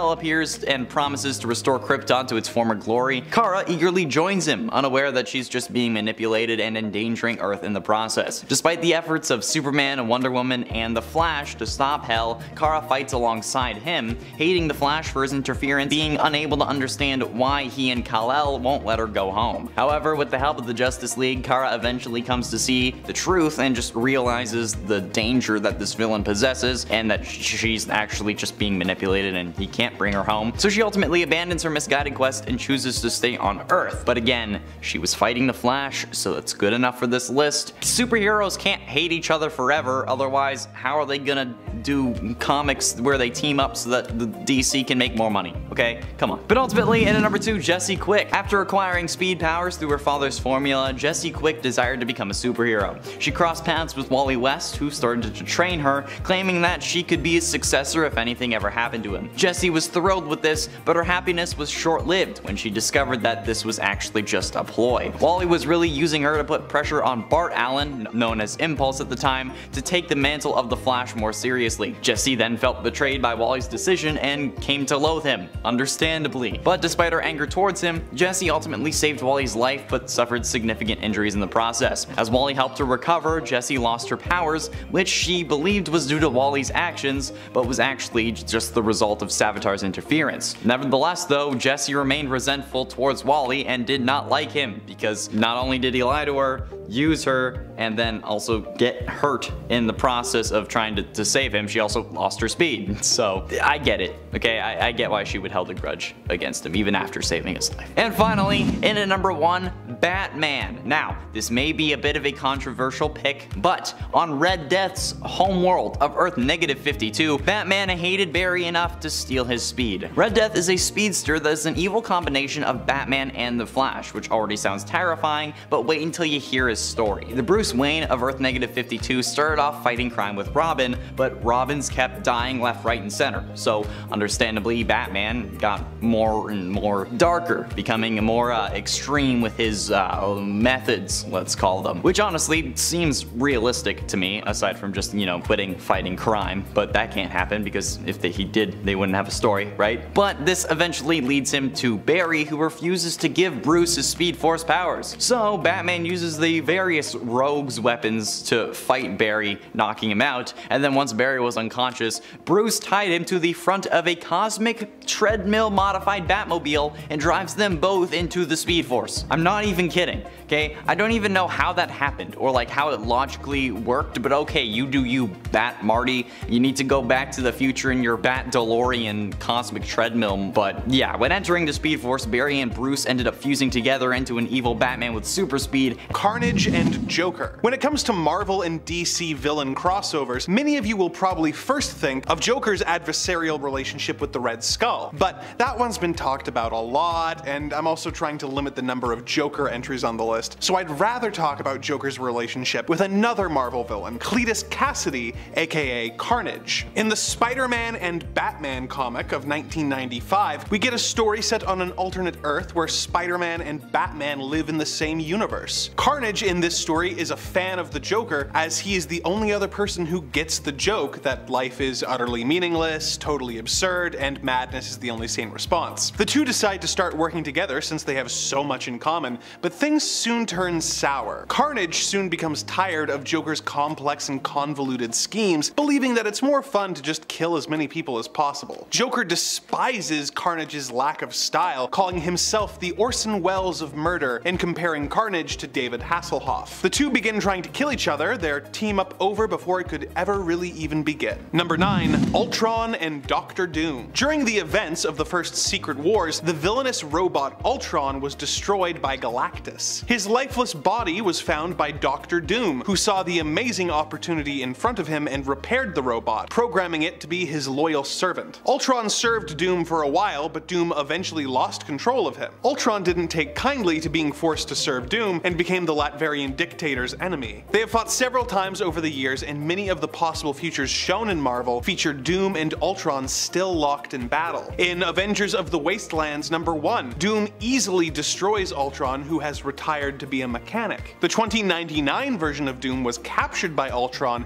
and even teamed up with the Savage Avengers in order to get a chance to destroy his old enemy, showing that no matter what the timeline, these two simply will not get along. Number 8. Killer Croc and Bane. During the infamous Nightfall arc, Bane enacted a plan to break Batman and take over Gotham City. While his plan is in progress, he sees Killer Croc on a rampage on the news. He finds out that Croc had attempted a similar plan and had come pretty close to taking out Batman. So, Bane decides that he should fight Croc in order to prove his worthiness. He attacks Croc and easily breaks his arm and beats him to a pulp. This leads to Croc hating Bane and vowing revenge, eventually tracking Bane to the sewers and attacking him, even ignoring a tied up Robin, favoring his revenge match over taking out one of Batman's allies. Bane beats Croc again without too much trouble, which only solidified Croc's hatred for the Venom enhanced villain. Number 7. Gorilla Grodd and Deathstroke. This feud began in Titans number 11, when Slade Wilson's ex-wife Addie Kane was kidnapped by Vandal Savage, causing Deathstroke to try and rescue her. He found her being held at knife point by Gorilla Grodd, who took the opportunity to cut her throat in front of him. This of course made Deathstroke swear revenge on Grodd, and when he was hired by Blockbuster, the Nightwing villain, not the movie store, to go to Gorilla City to find him a new heart in the Birds of Prey hostage heart arc, Deathstroke took the opportunity to go rogue. He ditched the other members of his team and tore a path of destruction through the jungle, searching for Grodd. In the end, Grodd got away and Deathstroke was unable to avenge his wife. In the current DC continuity, Slade's wife is alive and well, so he and Grodd really have no beef. But it's a shame we never got to see this storyline resolved before the continuity was reset. Number 6.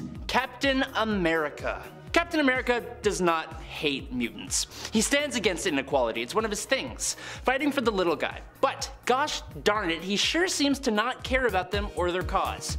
Captain America and the Avengers in general don't usually think of the whole race of mutants when they make decisions, and that often leads to catastrophic events. A prime example being Avengers vs. X-Men.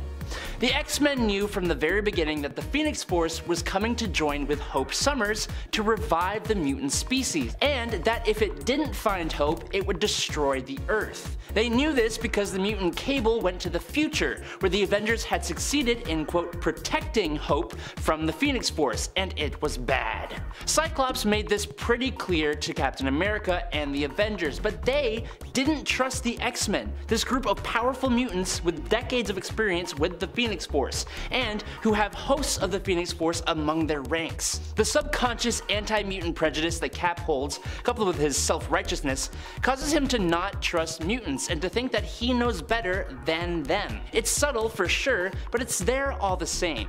Captain America has been at the center of many debates due to his willful negligence in regards to the mutant struggle. He doesn't hate mutants, but he also takes no noticeable action in their favor, nor does he like it when the X-Men threaten to overturn the current peace, even if it's for the betterment of their own species. But he does create the Unity Squad, so there's that. Number 5. Hawkeye. Look, Hawkeye is kinda just a bit of a jerk to everyone. And it makes a tiny bit of sense since he's constantly playing the compensation game with everyone else since he's just a guy with a bow and an arrow. But man, does he say some problematic anti-mutant garbage sometimes. In Secret Wars, for example, without showing any anti-mutant sentiment before, Hawkeye grabs Cyclops by the scruff of his shirt and screams in his face, You mutants stick together, huh? Well, sticking to a blood-soaked maniac like him doesn't speak well of you, pal. He was referring to Magneto, and well, fair point, Hawkeye, but what's all this you mutants talk? Look, I'm reaching for this one for sure, but in the Ultimate Universe, this sentiment is actually a bit more noticeable, and Hawkeye is certainly more of a jerk in general there. And he even took glee in taking out multiples of Multiple men, although that was most likely because he was grieving. Look, just let me have this one, okay? Number 4. Scarlet Witch. The Scarlet Witch is another unique choice for this list as she herself is indeed a mutant. But it's the fact that she is a mutant that is why she is on this list in the first place. It is a gross understatement to say that Wanda has not had the easiest life. Being an Avenger for years, the team that she has always been more inclined to anyways, this mutant saved the world on many occasions, but the end of the Scarlet Witch's marriage to Vision and the loss of her children caused a mental breakdown breakdown. A breakdown that coupled with her reality warping capabilities caused the passing of a number of Avengers. Once the heroes decided that she needed to be dealt with, she warped reality to a world where Magneto was in charge of everything. But in the climax of that story, Wanda, in an extremely emotional moment, basically revealed her hate for mutants stemmed from the fact that being one has caused her so much pain and grief. She hated herself for being a mutant, and with three words, she then relieved almost all the mutants mutants on Earth of their mutant abilities, putting the entire race into endangerment. Number 3. Tony Stark Tony Stark, Iron Man, is on this list for an extremely similar reason to Captain America. As one of the leading men in the non-mutant superhero community, he makes some rather interesting decisions with some pretty selfish intent. Just like Captain America, I wouldn't say that Tony hates mutants or the X-Men, but I would say that he is usually ignorant to the horror which the X-Men have had to endure solely for being born different. For Tony, his example of not caring comes from the superhuman Civil War. Iron Man attempted to recruit the X-Men during during Civil War, and Emma Frost rightly pointed out that the Avengers did absolutely nothing when Genosha was attacked by the Sentinels. 16 million mutants passed away, and the other heroes, Iron Man included, were almost nowhere to be found. But the bigger elephant in the room is that the act that Tony is even supporting in his Civil War is the Superhuman Registration Act, which itself was just an evolution of the Mutant Registration Act that purposefully segregated mutants for being who they were born to be. Tony didn't really care about that. He cared about having powerful pawns on his side. He would rather have them on his side since they are useful to keep around, but he doesn't actually care about their struggle, and he doesn't even fully trust them. Also, an imposter Tony Stark called them all filthy muties once, so there's that. Number 2. Reed Richards Reed Richards of the Fantastic Four is not overtly a mutant or X-Men hater. The Fantastic Four that he is arguably the leader of have done their time and earned their place among the whole superhuman community, including among the mutants, as the Fantastic Four were one of the few groups who actively showed support of mutants, even if they didn't really know the best way to do so. But despite that, when things get personal, people's true colors come out for all to see. Reed may have not overtly said he hates mutants, but when it was revealed that Franklin Richards, his son, was actually a mutant, Reed then implanted a mutant nullifier into his own kid. He tried to fix Franklin despite the fact that he didn't try to do that when Franklin was not a mutant. I'd say that is pretty highly suspicious, and Susan Richards would probably agree with me. The people of the internet think this may have played a part in her trying to shack up with Namor. The worst part is Franklin wasn't actually a mutant, he just subconsciously used his vast powers to give himself an X gene. Reed needs to check himself. And finally, in at number 1, the Eternals. This may be a bit of an interesting choice. The hate for the X-Men here is almost an involuntary thing. So the Eternals, a celestial created experiment and offshoot of humanity, have an eternal struggle against another offshoot, the Deviants. Eternals have hardwired programming to protect the Celestials and to correct excess deviation.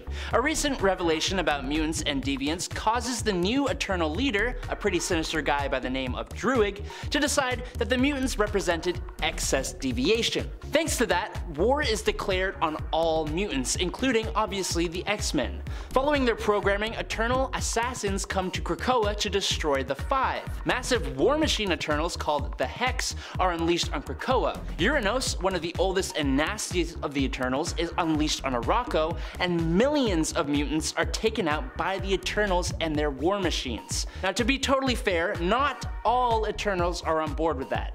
The main heroic Eternals like Thena and Icarus and Ajak and Makkari split themselves off as separate Eternal factions trying to fix the situation, and when it reaches its crazy huge penultimate climax, things do go back to a bit of a normalcy, but for a while, their Eternals tried to wipe out the mutants simply for existing.